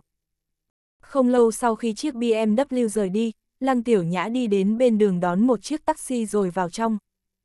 Bác Tài, tới Phượng Minh Các. Audio điện tử võ tấn bền chương 481, các người quá ngây thơ rồi. Phượng Minh Các. Chú họ Lục Đào đưa Lục Đào và Lăng Tiểu Nhã vào bên trong. Cả hai đều bị sốc bởi phong cách trang trí tráng lệ của Phượng Minh Các. Thành phố nơi họ sống cũng có một nhà hàng có thể xem là sang trọng, nhưng so với Phượng Minh Các thì vẫn còn kém xa. Chà, thật là quá lộng lẫy. Đây chính là nhà hàng ở kinh đô đó sao? So với cái này, nhà hàng chỗ chúng ta giống như một căng tin vậy. Lăng tiểu nhã lẩm bẩm một mình. Chú họ lục đào cười nói, đây là một trong những nhà hàng tốt nhất ở kinh đô đó, những người ra vào ở đây đều là người thuộc tầng lớp thượng lưu, nếu không làm cho hoành tráng thì làm sao có thể chứng tỏ thân phận của họ được. Hôm nay xếp bọn anh đặt phòng riêng tốt nhất chỗ này là Long Vương Điện để tiếp đãi khách. Nghe nói thân phận của vị khách này vẫn còn tương đối bí mật, Xếp anh không hề tiết lộ gì về vị khách xếp đón hôm nay. Hai đứa ra ngoài đi, đừng nói bậy bạ gì nhé, nếu không là anh bị hai đứa hại đó. Lục đào lập tức cười nói, chú họ đừng lo, tụi đều hiểu mà, nhất định không nói gì đâu. Hai đứa đợi ở đây một lát, anh lên gặp sếp đã, nhớ đừng gây phiền phức cho anh đó. Chú họ lục đào dặn. Cả hai cùng gật đầu, chú họ lục đào quay người bước lên lầu. Lục Đào và Lăng Tiểu Nhã đều tò mò nhìn ngắm ở Phượng Minh Các, thậm chí họ đã nghĩ sẵn đến lúc về nhà sẽ khoe khoang chém gió thế nào với bạn bè cả rồi. Lúc này, Lâm Thanh Diện từ bên ngoài đi vào, vừa lúc Lăng Tiểu Nhã đang nhìn xung quanh, cô liền chú ý đến dáng anh, rồi lập tức mở to mắt. Lục Đào mau nhìn kìa, đó không phải là thằng ngu mà mình gặp trên tàu cao tốc sao? Lăng Tiểu Nhã chỉ tay về phía Lâm Thanh Diện. Lục Đào nhìn theo hướng tay Lăng Tiểu Nhã, sau khi thấy Lâm Thanh Diện, anh ta cau mày lại, tên này không phải là đi theo chúng ta đến đây đó chứ. Anh ta cảm thấy mất mặt trên tàu cao tốc nên theo đến tận đây trả đũa mình à. Cũng có khi anh ta nghe lỏm được cuộc trò chuyện của tụi mình, biết rằng hôm nay mình tới gặp chú họ anh, mà nếu tìm được chú họ mình thì có thể tìm người phụ trách kế hoạch tái thiết thành phố. Anh ta vì bị tổn thương lòng tự trọng trên tàu cao tốc nên đinh đến đây để phá hoại. Lăng Tiểu Nhã nghĩ rằng cô đã suy luận ra được lý do tại sao Lâm Thanh Diện đến đây. Nếu là như vậy, chúng ta phải ngăn cản liền, tên này có sức, nếu thật sự để cho anh ta gây ra chuyện, có khi chúng ta cũng xui xẻo lây luôn mất. Lục đào cao mày nói. Lăng Tiểu Nhã cũng gật đầu, nói, vậy thì chúng ta qua ngăn anh ta đi. Người này thật tình, rõ ràng là một gã ngu mà còn chạy đến chỗ như này gây phiền phức nữa. Thật bực mình. Hai người đi về phía Lâm Thanh Diệt, trực tiếp đứng chắn ở trước mặt anh. Anh có biết đây là đâu không hả? Anh làm gì ở đây? Lăng Tiểu Nhã nhìn chằm chằm Lâm Thanh Diện hỏi. Lâm Thanh Diện không ngờ Lục Đào và Lăng Tiểu Nhã xuất hiện ở đây, đã thế còn đến cản đường anh, trong lòng có chút kỳ quái. Tôi đến đây gặp bạn, Lâm Thanh Diện đáp. Lăng Tiểu Nhã đột nhiên diếu cợt, có thể bớt giỡn chút được không, người như anh mà cũng gặp bạn ở chỗ này được hả? Anh có biết đây là nhà hàng xịn nhất kinh đô không vậy? Những người tới đây dùng cơm đều là giới thượng lưu đó, một tên khố rách áo ôm như anh mà có bạn ở tầng lớp này được sao? Lâm Thanh Diện hơi nhíu mày, nói tin không thì tùy, tôi còn phải lên trên, nhường đường giúp. Lục Đào lập tức giang hai tay ngăn Lâm Thanh Diện, vẻ mặt chế nhạo nói, đừng vờ vịt ở đây, tụi này đã đoán được anh cố ý tới đây gây rối, tụi này chẳng qua chỉ làm anh mất mặt trên tàu cao tốc thôi mà, có đến nỗi phải theo đuôi tới đây không hả? Tôi khuyên anh một câu nhé, người ở đây đều là người có địa vị, có thân phận cả. Không phải người mà anh có thể động đến được đâu, nếu có ý thức thì mau đi đi. Tôi không hiểu anh đang nói gì cả. Tránh ra nhanh lên, tôi không muốn mất thời gian. Lâm Thanh Diện lạnh lùng nói. Anh cảm thấy hai người này có chút kỳ cục, ở trên tàu cao tốc tổng cộng không nói được 10 câu với bọn họ, không biết lục đào sao lại nghĩ là đã làm anh mất mặt. Đừng có được đằng chân lân đằng đầu, nếu anh cố chấp đến đây gây rối, tôi sẽ gọi bảo vệ đó. Đây là nhà hàng tốt nhất ở Kinh Đô, bảo vệ ở đây cũng phải rất giỏi, nếu bảo vệ mà đến thì anh không có kết cục tốt đâu. Lục đào hung hăng nói. Sắc mặt lâm thanh diện trầm xuống, ánh mắt nhìn lục đào có chút không kiên nhẫn. Lăng tiểu nhã ở một bên nhìn chòng chọc lâm thanh diện, hỏi, nếu mà anh nói đến đây để gặp bạn, vậy nói tôi nghe xem bạn của anh đang đợi anh ở phòng riêng nào. Theo quan điểm của lăng tiểu nhã, chắc chắn lâm thanh diện không biết ở đâu có những phòng riêng gì, nếu không trả lời được thì có nghĩa là anh thực sự đến đây để gây rối. Long Vương Điện, Lâm Thanh Diện đáp, cả Lăng Tiểu Nhã và Lục Đào đều mở to mắt nhìn Lâm Thanh Diện vẻ khó tin, nếu nhớ không lầm thì lúc nãy chú họ Lục Đào cũng nói rằng người phụ trách hôm nay sẽ tiếp đái khách ở Long Vương Điện. Anh, anh đừng có mà nói nhảm, hôm nay Long Vương Điện là chỗ người phụ trách kế hoạch tái thiết thành phố tiếp đái khách quý. Bạn anh làm sao có thể ở đó? Tôi thấy anh đúng thật là tới gây rối rồi, hơn nữa còn thăm dò nơi này. Tiểu Nhã, mau gọi bảo vệ đi, anh ngăn anh ta lại, hôm nay không được cho anh ta vào. Lục đào nghiêm túc la lên. Lăng tiểu nhã cũng nhanh chóng gật đầu, xoay người chạy về phía cửa gọi bảo vệ. Lâm Thanh Diện có chút cạn lời, anh không định đôi co với bọn họ nữa, trực tiếp đi về phía trước. Không lẽ anh vẫn muốn quậy sao hả? Lục đào quát Lâm Thanh Diện. Lâm Thanh Diện đẩy anh ta ra một cái, tiếp tục đi về phía trước. Lục đào đuổi theo sau Lâm Thanh Diện, không ngừng kêu to, đây không phải là chỗ cho mày vào, mày đứng lại cho tao. Lục đào biết Lâm Thanh Diện rất mạnh, nếu thật sự đánh nhau thì nhất định sẽ không đánh lại anh, thế nên cũng không dám ngăn cản, chỉ có thể hét lên vậy. Lâm Thanh Diện phớt lờ lục đào, đi tiếp đến cầu thang xoắn ốc phía trước. Ngay khi Lâm Thanh Diện chuẩn bị đến cầu thang, Lăng Tiểu Nhã cùng vệ sĩ chạy tới, cô ta chỉ tay về phía Lâm Thanh Diện, quát lớn, là anh ta, chính là kẻ này, anh ta muốn gây rối với khách của các anh. Mau bắt anh ta lại đi. Các nhân viên bảo vệ xông tới trước lăng tiểu nhã và ngăn anh lại, đội trưởng an ninh nhìn Lâm Thanh Diện từ trên xuống dưới, phát hiện Lâm Thanh Diện ăn mặc bình thường, hoàn toàn một trời một vực với những người tầng lớp thượng lưu vẫn thường xuất hiện ở đây, vậy nên cũng đồng ý với lời của lăng tiểu nhã, nghĩ rằng Lâm Thanh Diện tới đây để gây rối.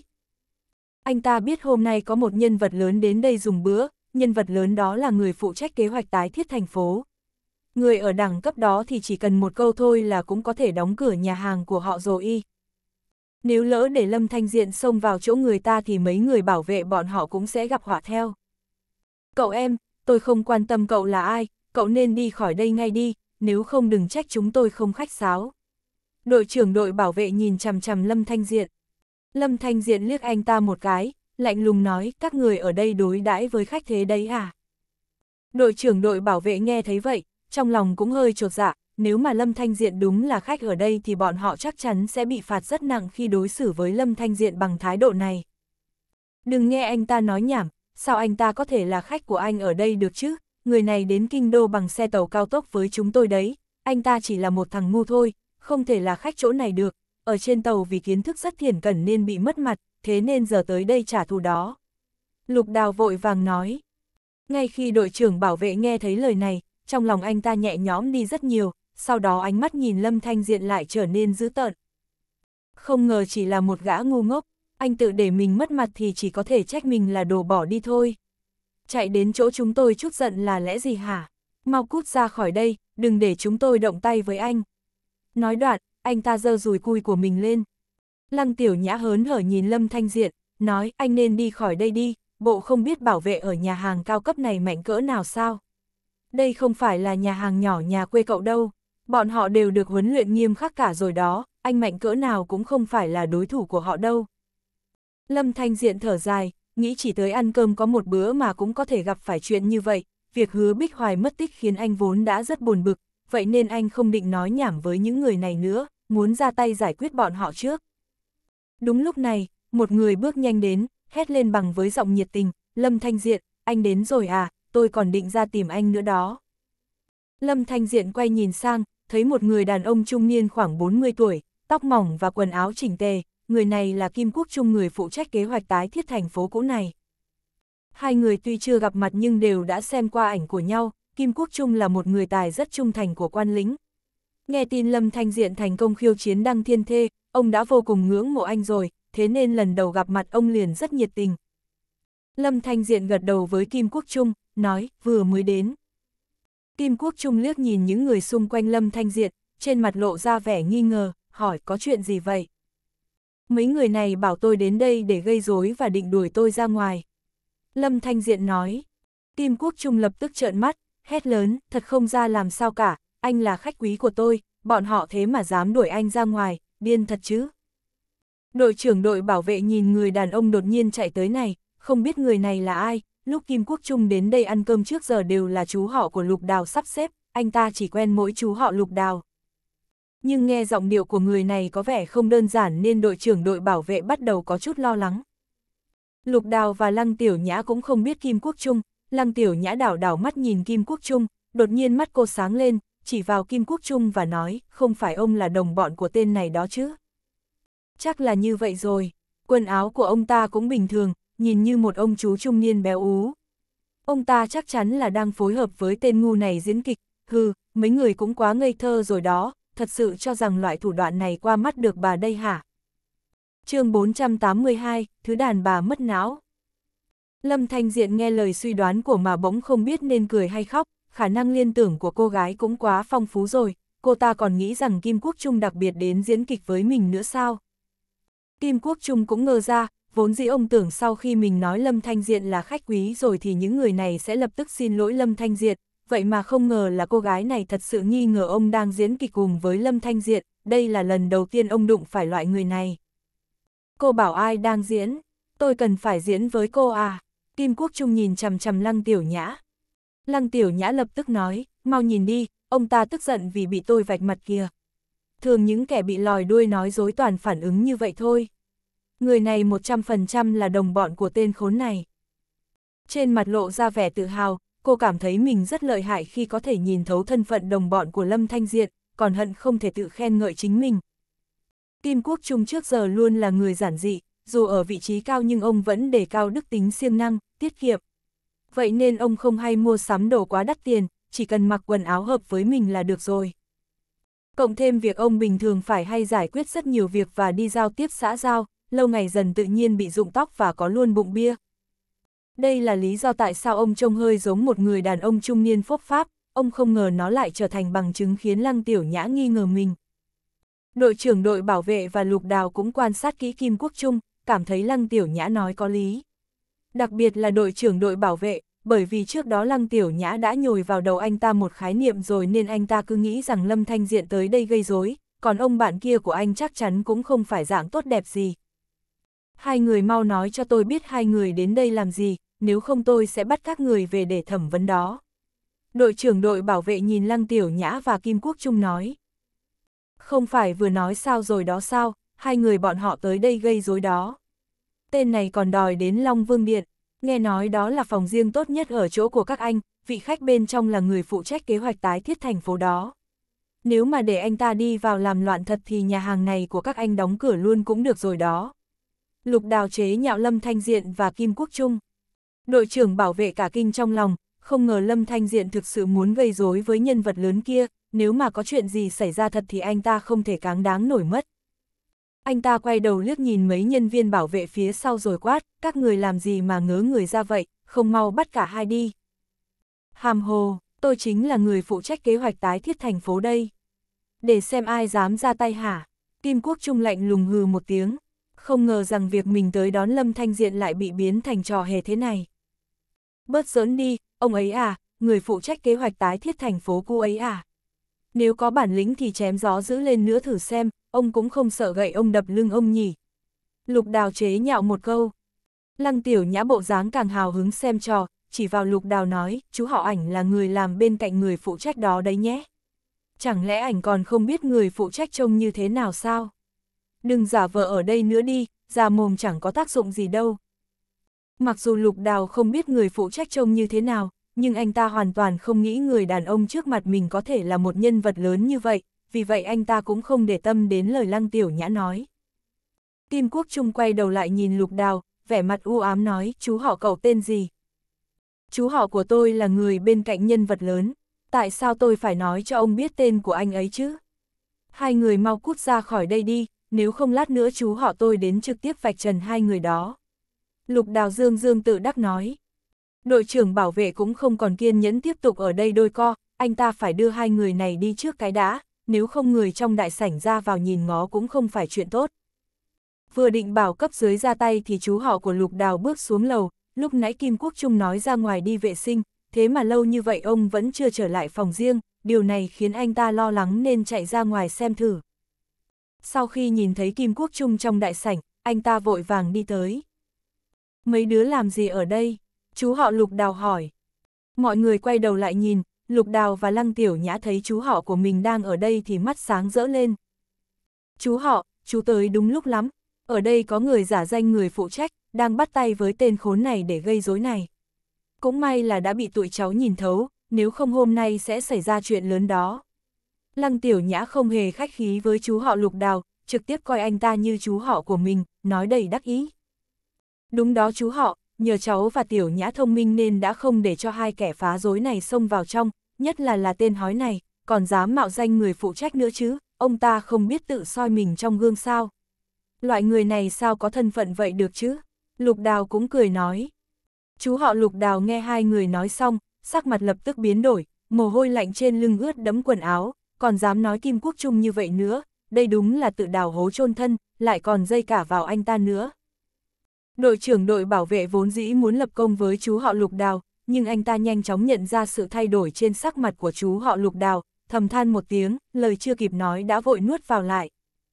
Cậu vừa nói cái gì, nói lại lần nữa xem, chú họ Lục Đào muốn giết người luôn rồi, cho dù Lục Đào có là cháu họ của mình thì anh ta cũng không thể nén được lửa giận trong lòng.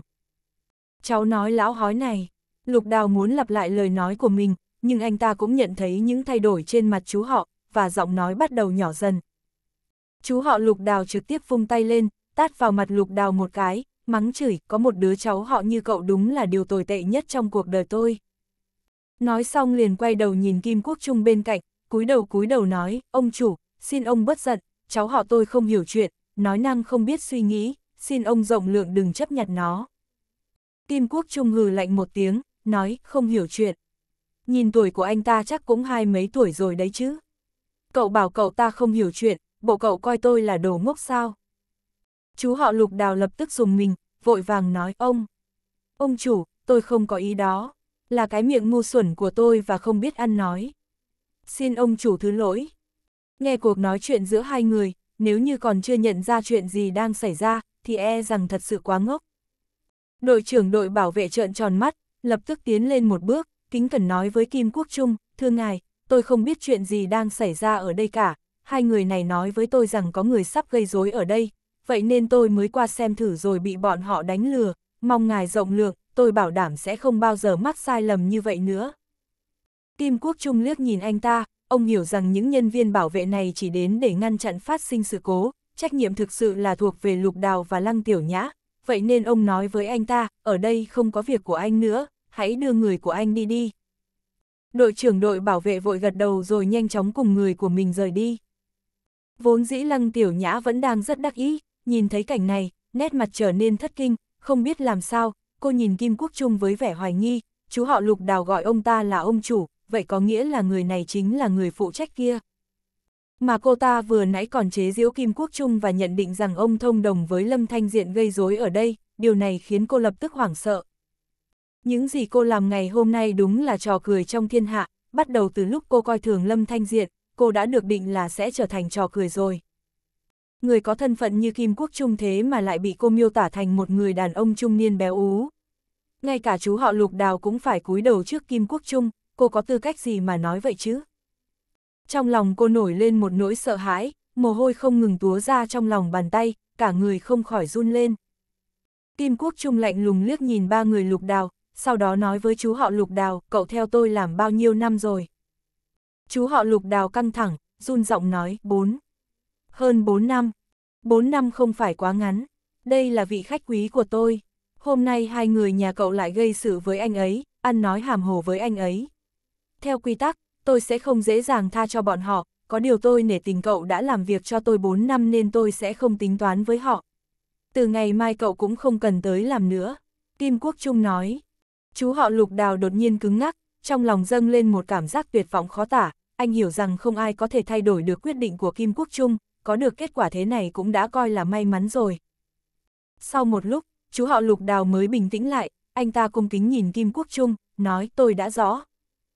Kim Quốc Trung lại liếc nhìn lục đào và lăng tiểu nhã, cả hai đều đang run rẩy, ông còn chưa rảnh đến nỗi đi so đo với hai đứa nhỏ nhít này, trừng phạt chú họ lục đào vậy là đủ rồi. Ông quay nhìn về phía Lâm Thanh Diện, thái độ đột nhiên trở nên cung kính, ông hỏi, Lâm Thanh Diện, anh có hài lòng với cách xử lý của tôi không?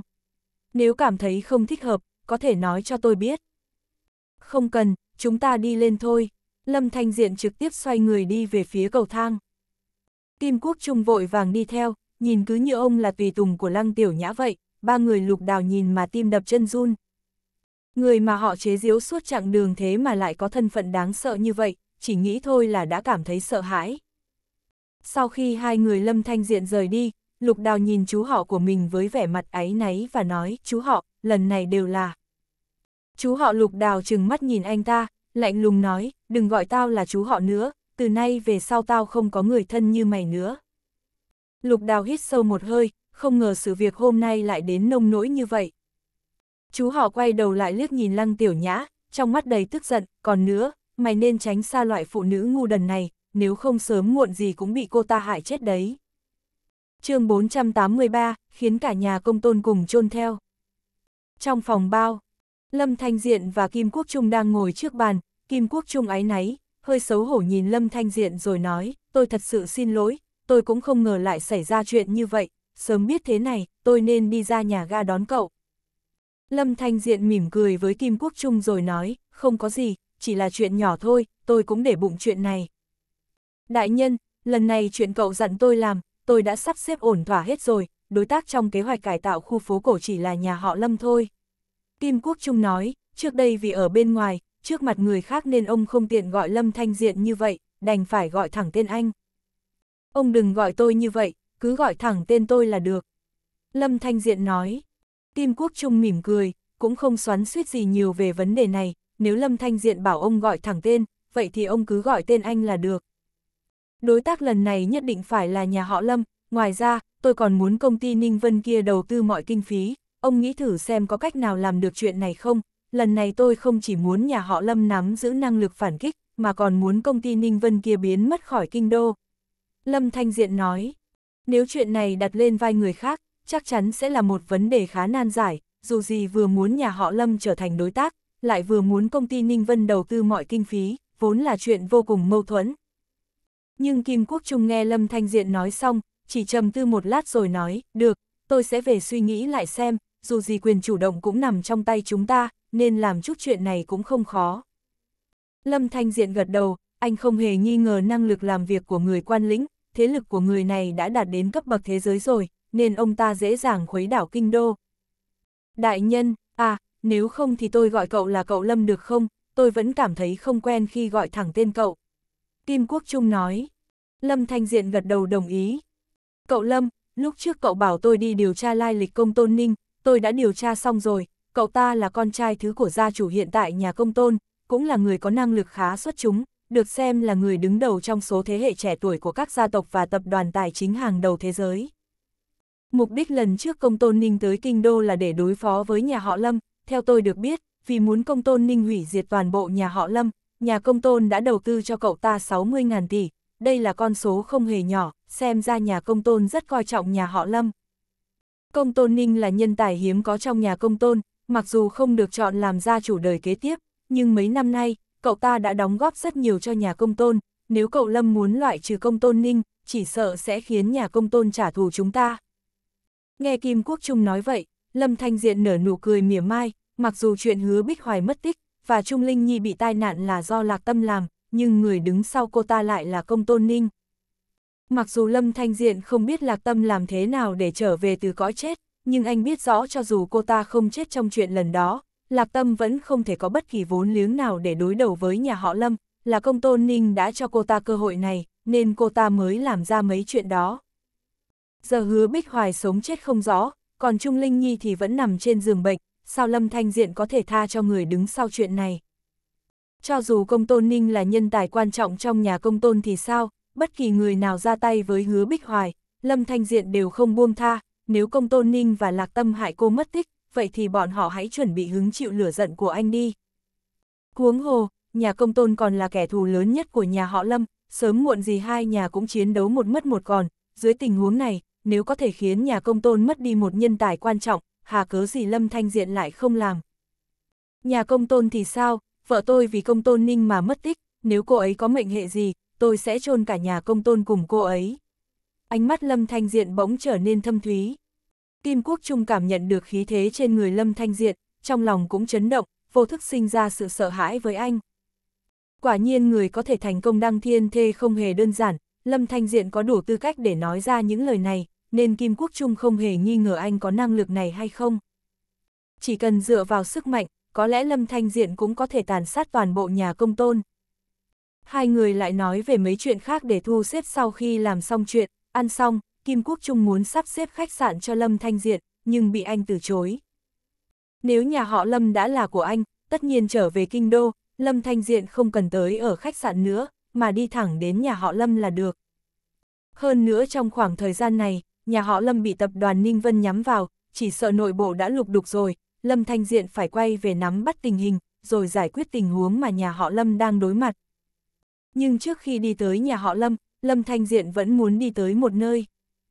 Trong thương hội thiên nguyên, giờ Trung Linh Nhi vẫn đang hôn mê bất tỉnh, trong lòng Lâm Thanh Diện cũng luôn thấp thỏm về tình trạng của cô ấy, theo lời Trần Tài Anh nói, hôm đó vì Trung Linh Nhi gặp hứa Bích Hoài nên mới xảy ra chuyện.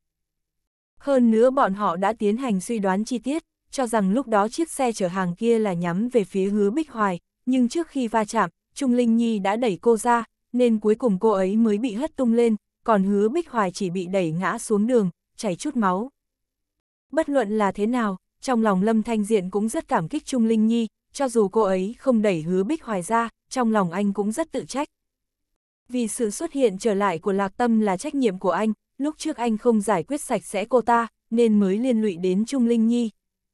Trong tòa nhà Thiên Nguyên, Trung Thiên Nguyên cố ý sửa lại cửa phòng bệnh.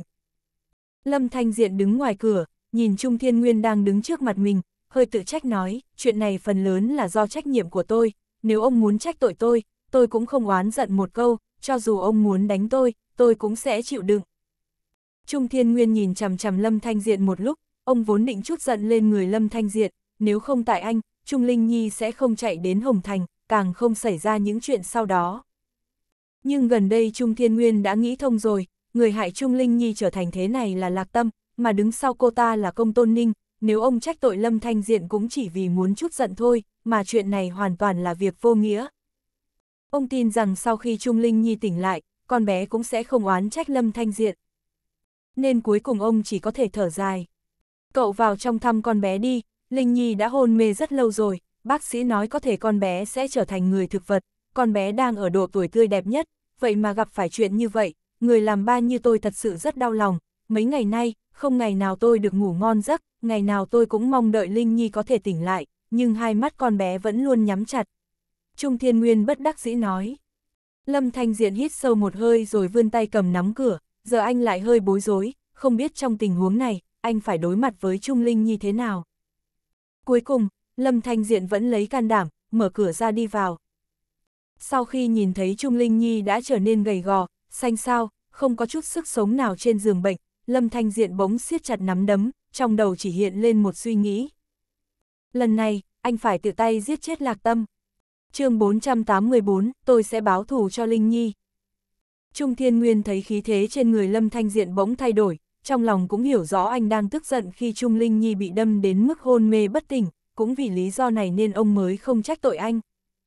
Lâm Thanh Diện cũng giống hệt Trung Thiên Nguyên, anh không hề muốn Trung Linh Nhi phải hứng chịu nỗi đau này, xảy ra chuyện như vậy, Lâm Thanh Diện cũng rất bất đắc dĩ, người nên trách tội phải là mấy người đã gây ra chuyện này. Linh Nhi bị như vậy là do lạc tâm gây ra, lúc trước cô ta đã uống thuốc độc tự sát trước mặt mọi người, nhưng giờ lại xuất hiện, tôi nghi ngờ thuốc độc mà cô ta uống lúc đó có vấn đề, lúc đó không có ai đi tới kiểm tra, nên cô ta mới thoát được một kiếp.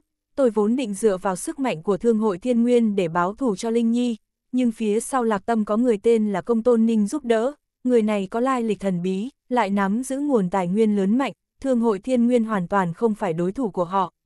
Bằng không nhà họ Lâm cũng không trở nên khủng hoảng như vậy. Trung Thiên Nguyên giải thích. Lâm Thanh Diện gật đầu nói, tôi biết mấy chuyện này rồi, người tên là Công Tôn Ninh đó, là người nhà Công Tôn. Nhà Công Tôn, là gia tộc nào vậy, sao trước giờ tôi chưa từng nghe qua? Trung Thiên Nguyên tràn đầy nghi ngờ hỏi. Lâm Thanh Diện cười nói, nhà Công Tôn là gia tộc đứng đầu thế giới, bọn họ đã sớm rời khỏi nước C rồi, giờ đang định cư tại Mỹ, mấy gia tộc cấp bậc này có thể tạo ra sóng gió trên toàn thế giới, nên Thương hội Thiên Nguyên không đối phó lại cũng là chuyện thường tình. Trung Thiên Nguyên bỗng nhíu mày, ông vốn cho rằng chuyện này là do một gia tộc cổ xưa thần bí nào đó trong nước C gây ra, mặc dù bọn họ có thực lực mạnh mẽ, nhưng cũng không phải không đối phó được. Ông vốn định đợi Lâm Thanh Diện qua về rồi, sẽ nghĩ cách hóa giải nguy cơ nhà họ Lâm, rồi bắt tay với Thương hội Thiên Nguyên, như vậy ông có thể đối phó với công tôn ninh rồi. Giờ nghe Lâm Thanh Diện nói vậy, ông mới nhận ra mình thật sự quá ngây thơ, nếu là gia tộc có thể làm xáo trộn cục diện trên toàn thế giới, cho dù nhà họ Lâm và Thương hội Thiên Nguyên ở thời kỳ đỉnh cao bắt tay với nhau, cũng không thể đối phó được. Vậy chẳng phải chúng ta hoàn toàn không có cách báo thù thay Linh Nhi à? Nhà họ Lâm bị tập đoàn Ninh Vân ép đến mức lọt vào tay lạ, nếu nhà công tôn này thật sự giống như cậu nói, vậy chẳng phải cho dù cậu quay về cũng không có cách gì à? Trung Thiên Nguyên lo lắng nói. Đúng như câu nói máu chảy ruột mềm, nếu nhà họ Lâm bị tập đoàn Ninh Vân tiêu diệt, chỉ sợ tập đoàn Thiên Dương cũng không còn xa nữa. Lâm Thanh Diện quay đầu nhìn Trung Thiên Nguyên rồi cười nói chú, tạm thời chú đừng lo lắng về chuyện này, cho dù nhà công tôn là gia tộc đứng đầu thế giới, tôi cũng không sợ, bọn họ hại Linh Nhi thành thế này, tôi nhất định phải báo thù cho em ấy, trong lòng tôi đã xem Linh Nhi là em gái mình rồi, nên tôi không thể nhẫn nhịn khi em ấy xảy ra chuyện. Trung Thiên Nguyên sửng sốt một lát, một phần là vì nhìn Lâm Thanh Diện có vẻ không hề sợ hãi với nhà công tôn này, phần còn lại là vì anh mới gọi ông là chú. Vì trước giờ biểu hiện của Lâm Thanh Diện làm cho Trung Thiên Nguyên cảm thấy mình và anh ngang hàng với nhau, Lâm Thanh Diện có đủ tư cách để đối xử ngang hàng với ông, nên ông luôn bỏ qua tuổi tác của anh. Mãi đến khi Lâm Thanh Diện gọi ông là chú, ông mới nhận ra anh cùng trang lứa với con gái mình, chỉ lớn hơn con bé mấy tuổi thôi. Hơn nữa một tiếng chú này cũng làm Trung Thiên Nguyên nhận ra rằng, Lâm Thanh Diện thật sự xem Trung Linh Nhi là em gái mình, và những lời anh vừa nói là xuất phát từ tận đáy lòng. Một lúc sau, Trung Thiên Nguyên mới dần hoàn hồn lại, Lâm Thanh Diện có thể coi trọng Trung Linh Nhi như vậy, tất nhiên ông rất vui rồi, nhưng chẳng phải anh nói nhà công tôn này khó đối phó sao, cho dù là Lâm Thanh Diện thì trước mắt cũng không có đủ sức mạnh như vậy.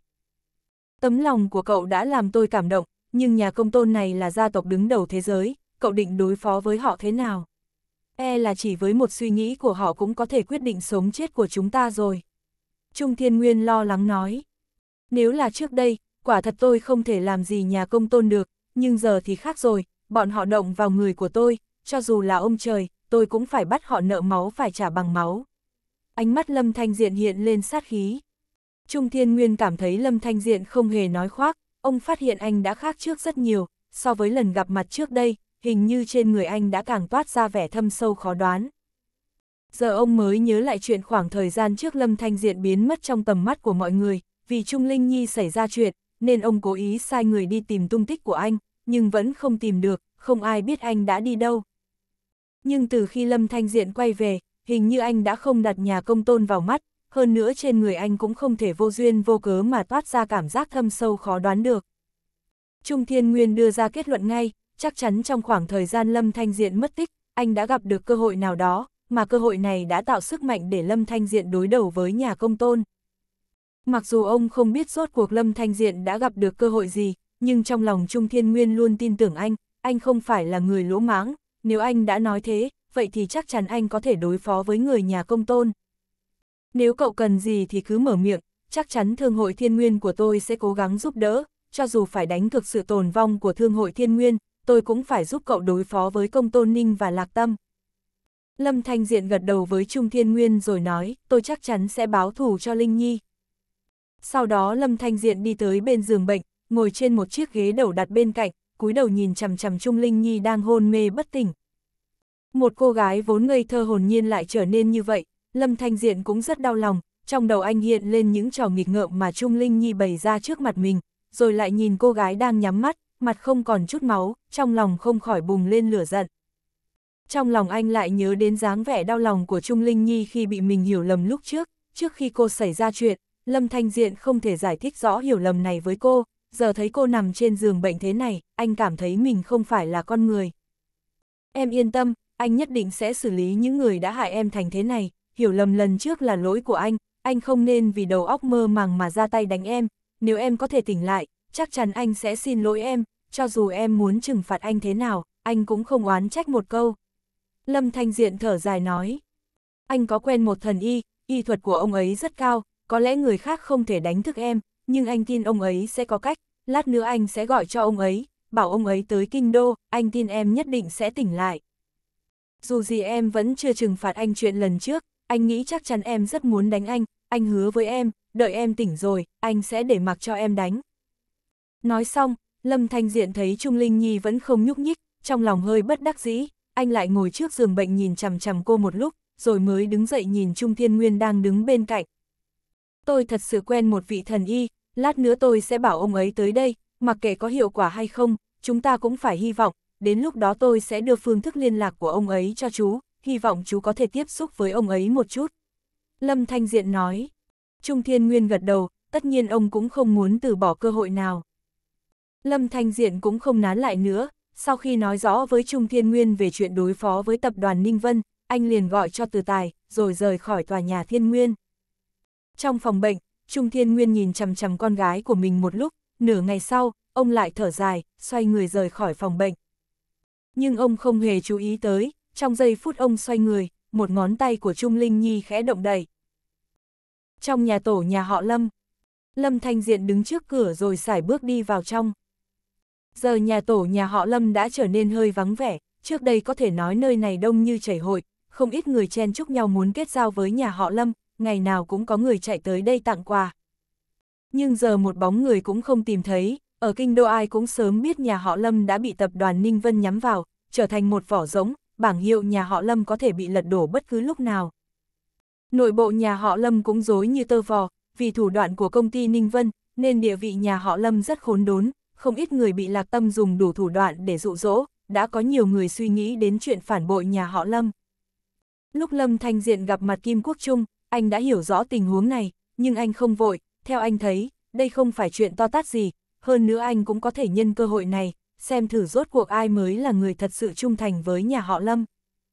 Lâm Thanh Diện đi vào nhà tổ nhà họ Lâm, rất nhanh đã có người đã phát hiện ra anh, không ít người chạy tới chỗ anh ngay, nhưng không ai bước lên chào hỏi. Trong lúc nhà họ Lâm rơi vào tình trạng nguy cấp, người làm gia chủ như Lâm Thanh Diện lại không có uy tín, tiếp quản nhà họ Lâm xong liền biến mất, nhiều người cho rằng nhà họ Lâm bị như vậy là do Lâm Thanh Diện không biết lãnh đạo. Lâm Thanh Diện cũng không để tâm đến thái độ mấy người này, mà đi thẳng về phía trước, đến khi đi sâu vào trong, mới có người bước tới cung kính gọi anh là gia chủ. Ông Độ đang ở đâu? Lâm Thanh Diện nhìn người đàn ông đang đứng trước mặt mình hỏi. Ông Độ đang ở thư phòng xử lý công việc của sản nghiệp gia tộc, gia chủ, trong khoảng thời gian anh không ở đây, nhà họ Lâm đã xảy ra rất nhiều biến cố, đã có người âm mưu chia cắt sức mạnh của nhà họ Lâm, anh nhất định phải nghĩ cách cứu nhà họ Lâm. Người kia lo lắng nói. Lâm Thanh Diện nghe vậy thì gật đầu hỏi, là ai muốn làm thế? Người kia thở dài, định mở miệng nói thì nghe thấy cách đó không xa vang lên một loạt tiếng bước chân. Lâm Thanh Diện và người kia cùng ngẩng đầu nhìn qua đó, thì thấy có một nhóm người đang hùng hổ đi qua bên này.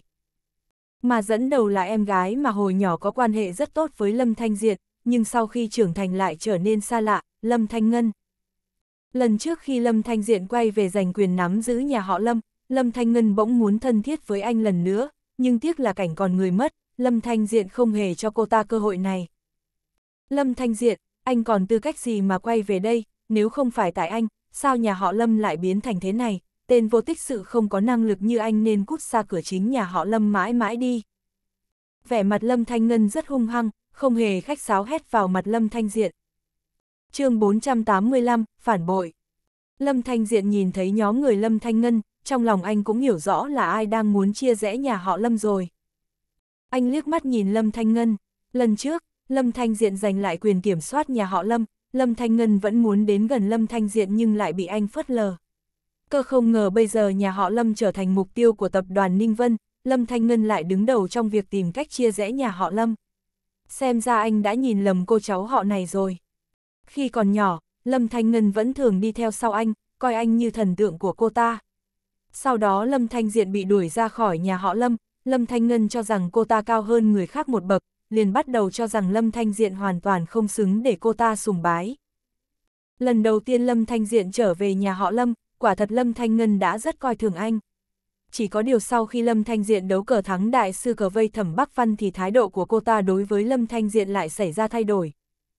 Sau khi Lâm Thanh Diện lấy lại được quyền kiểm soát nhà họ Lâm thì Lâm Thanh Ngân lại bắt đầu nịnh nọt anh. Bây giờ địa vị của nhà họ Lâm ở Kinh Đô đang bị đe dọa, Lâm Thanh Ngân liền muốn chia rẽ nhà họ Lâm, điều này đủ cho thấy cô ta là một người phụ nữ rất ham muốn quyền lực. Khi một người đang có quyền có thế, Lâm Thanh Ngân sẽ đến gần người đó. Khi người ta xa suốt rồi, thì Lâm Thanh Ngân sẽ một cước đá văng họ, phủi sạch quan hệ. Lâm Thanh Diện không ngờ Lâm Thanh Ngân lại trở thành người như vậy. Có vẻ như sau khi bị đuổi khỏi kinh đô, Lâm Thanh Ngân đã bị hai người phụ nữ Lạc Tâm và Lạc Hân ảnh hưởng không ít. Nhưng những thứ này không còn quan trọng nữa, mỗi người đều có lựa chọn của riêng mình. Bất kể vì lý do gì, nếu Lâm Thanh Ngân đã lựa chọn thái độ này thì cô ta cũng nên gánh chịu hậu quả tương ứng. Có thể thấy trước được rằng nếu Lâm Thanh Diện giải quyết được cuộc khủng hoảng của nhà họ Lâm lần này, kết quả tốt nhất của Lâm Thanh Ngân chính là bị đuổi khỏi nhà họ Lâm. Chính bản thân Lâm Thanh Ngân cũng biết điều này nhưng cô ta không nghĩ rằng Lâm Thanh Diện có thể giải quyết cuộc khủng hoảng của nhà họ Lâm. Hồ đồ, lúc này, một tiếng quát giận dữ vang lên, tất cả mọi người quay đầu lại, thì thấy ông Độ đang đi tới. Lâm Thanh Diện là gia chủ nhà họ Lâm, cô là người nhà họ Lâm, lại vô lễ với gia chủ như vậy, lẽ nào cô muốn tạo phản sao? Ông Độ trợn mắt nhìn Lâm Thanh Ngân. Lâm Thanh Ngân không hề sợ hãi, cô ta nhìn chằm chằm ông Độ nói, ông Độ, bây giờ là người quản lý nhà họ Lâm, chắc hẳn ông cũng rất rõ ràng tình hình của nhà họ Lâm lúc này. Chúng ta đang tràn ngập nguy cơ ở kinh đô, mà hết thảy những việc này là bởi vì người được gọi là gia chủ Lâm Thanh Diện này gây ra. Nếu anh ta làm gia chủ, mang đến kết quả là nhà họ Lâm bị tiêu diệt, vậy chúng ta còn cần gia chủ này làm gì? Ngay khi Lâm Thanh Ngân thốt ra những lời này, những người phía sau cô ta lập tức hét lên, bọn họ ai nấy đều tỏ ra khá kích động. Lâm Thanh Diện, nhanh chóng giao lại vị trí gia chủ, cậu không xứng với vị trí này.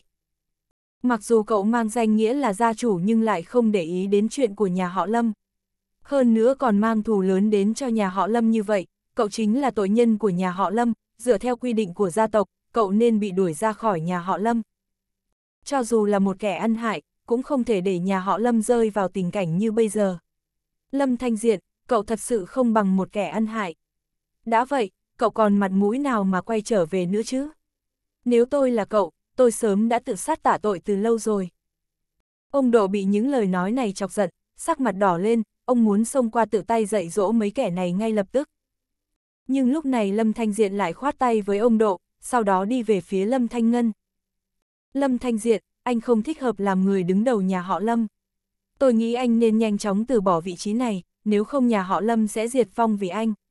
Lâm Thanh Ngân ngẩng cao đầu nhìn Lâm Thanh Diện, trong mắt hiện lên vẻ khinh thường. Cô dựa vào đâu mà chắc chắn rằng nhà họ Lâm sẽ bị diệt vong. Lâm Thanh Diện nhìn chằm chằm Lâm Thanh Ngân hỏi. Công ty Ninh Vân đã nhắm vào nhà họ Lâm từ lâu rồi. Sản nghiệp của chúng ta hoàn toàn bị bọn họ chèn ép đến mức không ngốc đầu lên nổi. Công ty Ninh Vân sẽ không ngại bỏ tiền ra để đối phó với chúng ta. Với dòng tiền hiện này của nhà họ Lâm thì hoàn toàn không có cách nào chống đỡ được lâu. Hơn nữa, ngày mai công ty Ninh Vân sẽ tiến hành tập trung hết sức lực thăm dò một lần đối với nhà họ Lâm. Căn cứ vào tình hình bây giờ của nhà họ Lâm ra, chúng ta cần ít nhất dòng tiền 30.000 tỷ mới có thể chống đỡ nổi. Mà theo tôi được biết, mấy ngày qua chống chọi lại với công ty Ninh Vân, trên sổ sách của nhà họ Lâm chỉ còn lại không đến 3.000 tỷ. Mà anh với tư cách là gia chủ, lại chưa bao giờ hỏi đến những việc này. Anh hãy nói cho tôi biết dòng tiền 30.000 tỷ này anh lấy ở đâu ra. Nếu không lấy ra được có phải nhà họ Lâm sẽ bị tiêu diệt không? Nghe được câu hỏi của Lâm Thanh Ngân, Lâm Thanh Diện không khỏi bật cười hỏi, cô chắc chắn bây giờ tôi không lấy ra được 30.000 tỷ sao? Lâm Thanh Ngân bĩu môi, mở miệng nói, tôi biết anh có tấm thẻ đen của ngân hàng thế giới nhưng cho dù có thể thấu chi vô thời hạn thì cũng không thể tiêu một lúc 30.000 tỷ được. Hơn nữa tập đoàn Thiên Dương ở Hồng Thành của anh tuy quy mô không nhỏ nhưng muốn lấy ra dòng tiền hàng chục nghìn tỷ thì chẳng khác nào chuyện viễn vông song tiền và giá trị thị trường của công ty là hai thứ khác nhau. Đúng vậy, bây giờ cậu không thể lấy ra được 30.000 tỷ, thì cậu đừng ở đây giả vờ. Nhà họ Lâm trở thành như vậy đều là do cậu. Một đám người dồn dập chỉ trích Lâm Thanh Diện. Không ngờ cô cũng hiểu khá rõ ràng nhỉ. Lâm Thanh Diện cười nói, vậy cô cho tôi hỏi một câu nữa, làm sao cô biết được ngày mai tập đoàn Ninh Vân sẽ tập trung hết sức lực thăm dò một lần nhà họ Lâm? Loại chuyện này không phải nên giữ bí mật tuyệt đối, đánh bất ngờ để thu được hiệu quả tốt hơn sao? Hay là nói cô đã bị tập đoàn Ninh Vân mua chuộc rồi? Cơ thể Lâm Thanh Ngân đột nhiên cứng ngắc, trên mặt lộ ra vẻ trột dạ nói, anh đừng ở đây vu khống cho tôi. Tôi chỉ là tự mình phát hiện ra mà thôi. Tôi không giống anh, hoàn toàn không quan tâm gì đến mọi chuyện của nhà họ Lâm.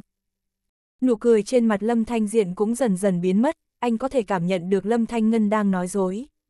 Không ngờ Lâm Thanh Ngân sẽ bị tập đoàn Ninh Vân mua chuộc. Vốn dĩ Lâm Thanh Diện chỉ cho rằng Lâm Thanh Ngân có lựa chọn của bản thân. Tại thời điểm này, cô ta làm ra một số hành động chống lại Lâm Thanh Diện là vì lợi ích của bản thân, điều này còn có thể thông cảm được. Nhưng anh không bao giờ ngờ rằng Lâm Thanh Ngân sẽ phản bội nhà họ Lâm, điều mà anh không thể nào tha thứ được. Lâm Thanh Diện liếc nhìn mọi người có mặt ở đây, lạnh lùng nói, tôi có thể cam đoan với các người việc thăm dò của tập đoàn Ninh Vân vào ngày mai chỉ là công dã tràng. Tôi biết có nhiều người có suy nghĩ riêng, tôi cho các người một đêm suy nghĩ, nếu ngày mai ai còn cho rằng nhà họ Lâm sẽ bị diệt vong như Lâm Thanh Ngân nói, vậy thì đừng trách gia chủ tôi đây nhẫn tâm. Lâm Thanh Ngân lập tức khịt mũi nói, Lâm Thanh Diện, sao anh không nghĩ tới kỹ xem bây giờ anh có thể lấy cái gì ra đảm bảo mọi người cũng đều chỉ vì muốn tốt nhà họ Lâm mà thôi. Nếu anh thực sự không muốn nhà họ Lâm chết thì lựa chọn tốt nhất chính là từ bỏ chức gia chủ kia, chứ không phải ở đây khoe khoang, khoác lác. Những người phía sau Lâm Thanh Ngân cũng nhìn chằm chằm Lâm Thanh Diện với vẻ khinh thường. Bọn họ đều cho rằng Lâm Thanh Ngân nói đúng, Lâm Thanh Diện chỉ là đang khoác lác mà thôi. Chuyện đã đến nông nỗi này rồi, cậu cũng đừng ở đây giả bộ nữa nếu cậu thật sự là vì lợi ích của nhà họ Lâm thì hãy nhanh chóng giao vị trí gia chủ của nhà họ Lâm ra đi. Bất kể ai làm gia chủ, chắc chắc cũng sẽ tốt hơn cậu. Lúc trước để Lâm Thanh Diện nắm quyền quản lý nhà họ Lâm, hoàn toàn là quyết định sai lầm. Bây giờ sản nghiệp nhà họ Lâm tràn ngập nguy cơ, tất cả đều là trách nhiệm của Lâm Thanh Diện nhưng cậu còn không biết hối cải, thực sự là đáng trách mà. Nếu Lâm Thanh Diện nhất định để cho nhà họ Lâm đi vào ngõ cụt, thì chúng ta thật sự chỉ có thể tìm một lối thoát khác. Lâm Thanh Diện mặc kệ mọi người, anh xoay người đi về phía phòng làm việc, ông Độ thấy vậy thì bất đắc dĩ nhìn đám người nhà họ Lâm một cái, sau đó cũng vội vàng đi theo Lâm Thanh Diện. Lâm Thanh Ngân nhìn chằm chằm bóng lưng Lâm Thanh Diện, ánh mắt trở nên lạnh lẽo, một lúc sau cô ta mới tự nói với bản thân, Lâm Thanh Diện, bản chất của xã hội này vẫn là kẻ mạnh nuốt kẻ yếu. Tôi làm như vậy chỉ vì tương lai sau này của mình mà thôi. Ai mà không muốn để bản thân sống tốt hơn, tôi không nghĩ mình đã làm gì sai. Trong phòng làm việc, ông Độ đứng trước mặt Lâm Thanh Diện nhíu mày, thật lâu sau mới nói, nếu những gì Thanh Ngân nói là sự thật, ngày mai tập đoàn Ninh Vân sẽ tập trung hết sức lực thăm dò chúng ta thì với dòng tiền bây giờ của nhà họ Lâm, quả thật không có cách nào chống lại được. Xem ra tập đoàn Ninh Vân đang muốn một cú đánh bại nhà họ Lâm của chúng ta rồi. Lâm Thanh Diện nhìn chằm chằm đống tài liệu trên bàn làm việc, sau đó ngẩng đầu cười với ông Độ, chuyện này ông không cần lo lắng, chỉ là dòng vốn 30.000 tỷ mà thôi, tôi sẽ giải quyết. Mục đích của tập đoàn Ninh Vân sẽ không thành công đâu. Ông Độ lập tức nhìn chằm chằm, nói, Lâm Thanh Diện, đó là dòng vốn 30.000 tỷ đó.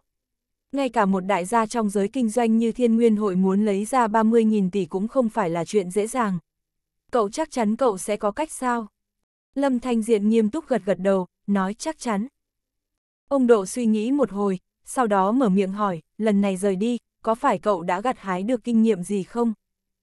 Lâm Thanh Diện cũng không giấu giếm, gật đầu. Cậu có biết tại sao công tôn ninh kia lại tấn công nhà họ Lâm chúng ta không?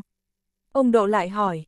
Ông luôn cảm thấy Lâm Thanh Diện bây giờ cho ông cảm giác vô cùng bình tĩnh, như thể công tôn ninh đối với Lâm Thanh Diện mà nói chẳng là gì cả. Mà ông cũng lờ mờ đoán được rằng nguyên nhân khiến Lâm Thanh Diện bình tĩnh như vậy là có liên quan đến chuyến đi lần này.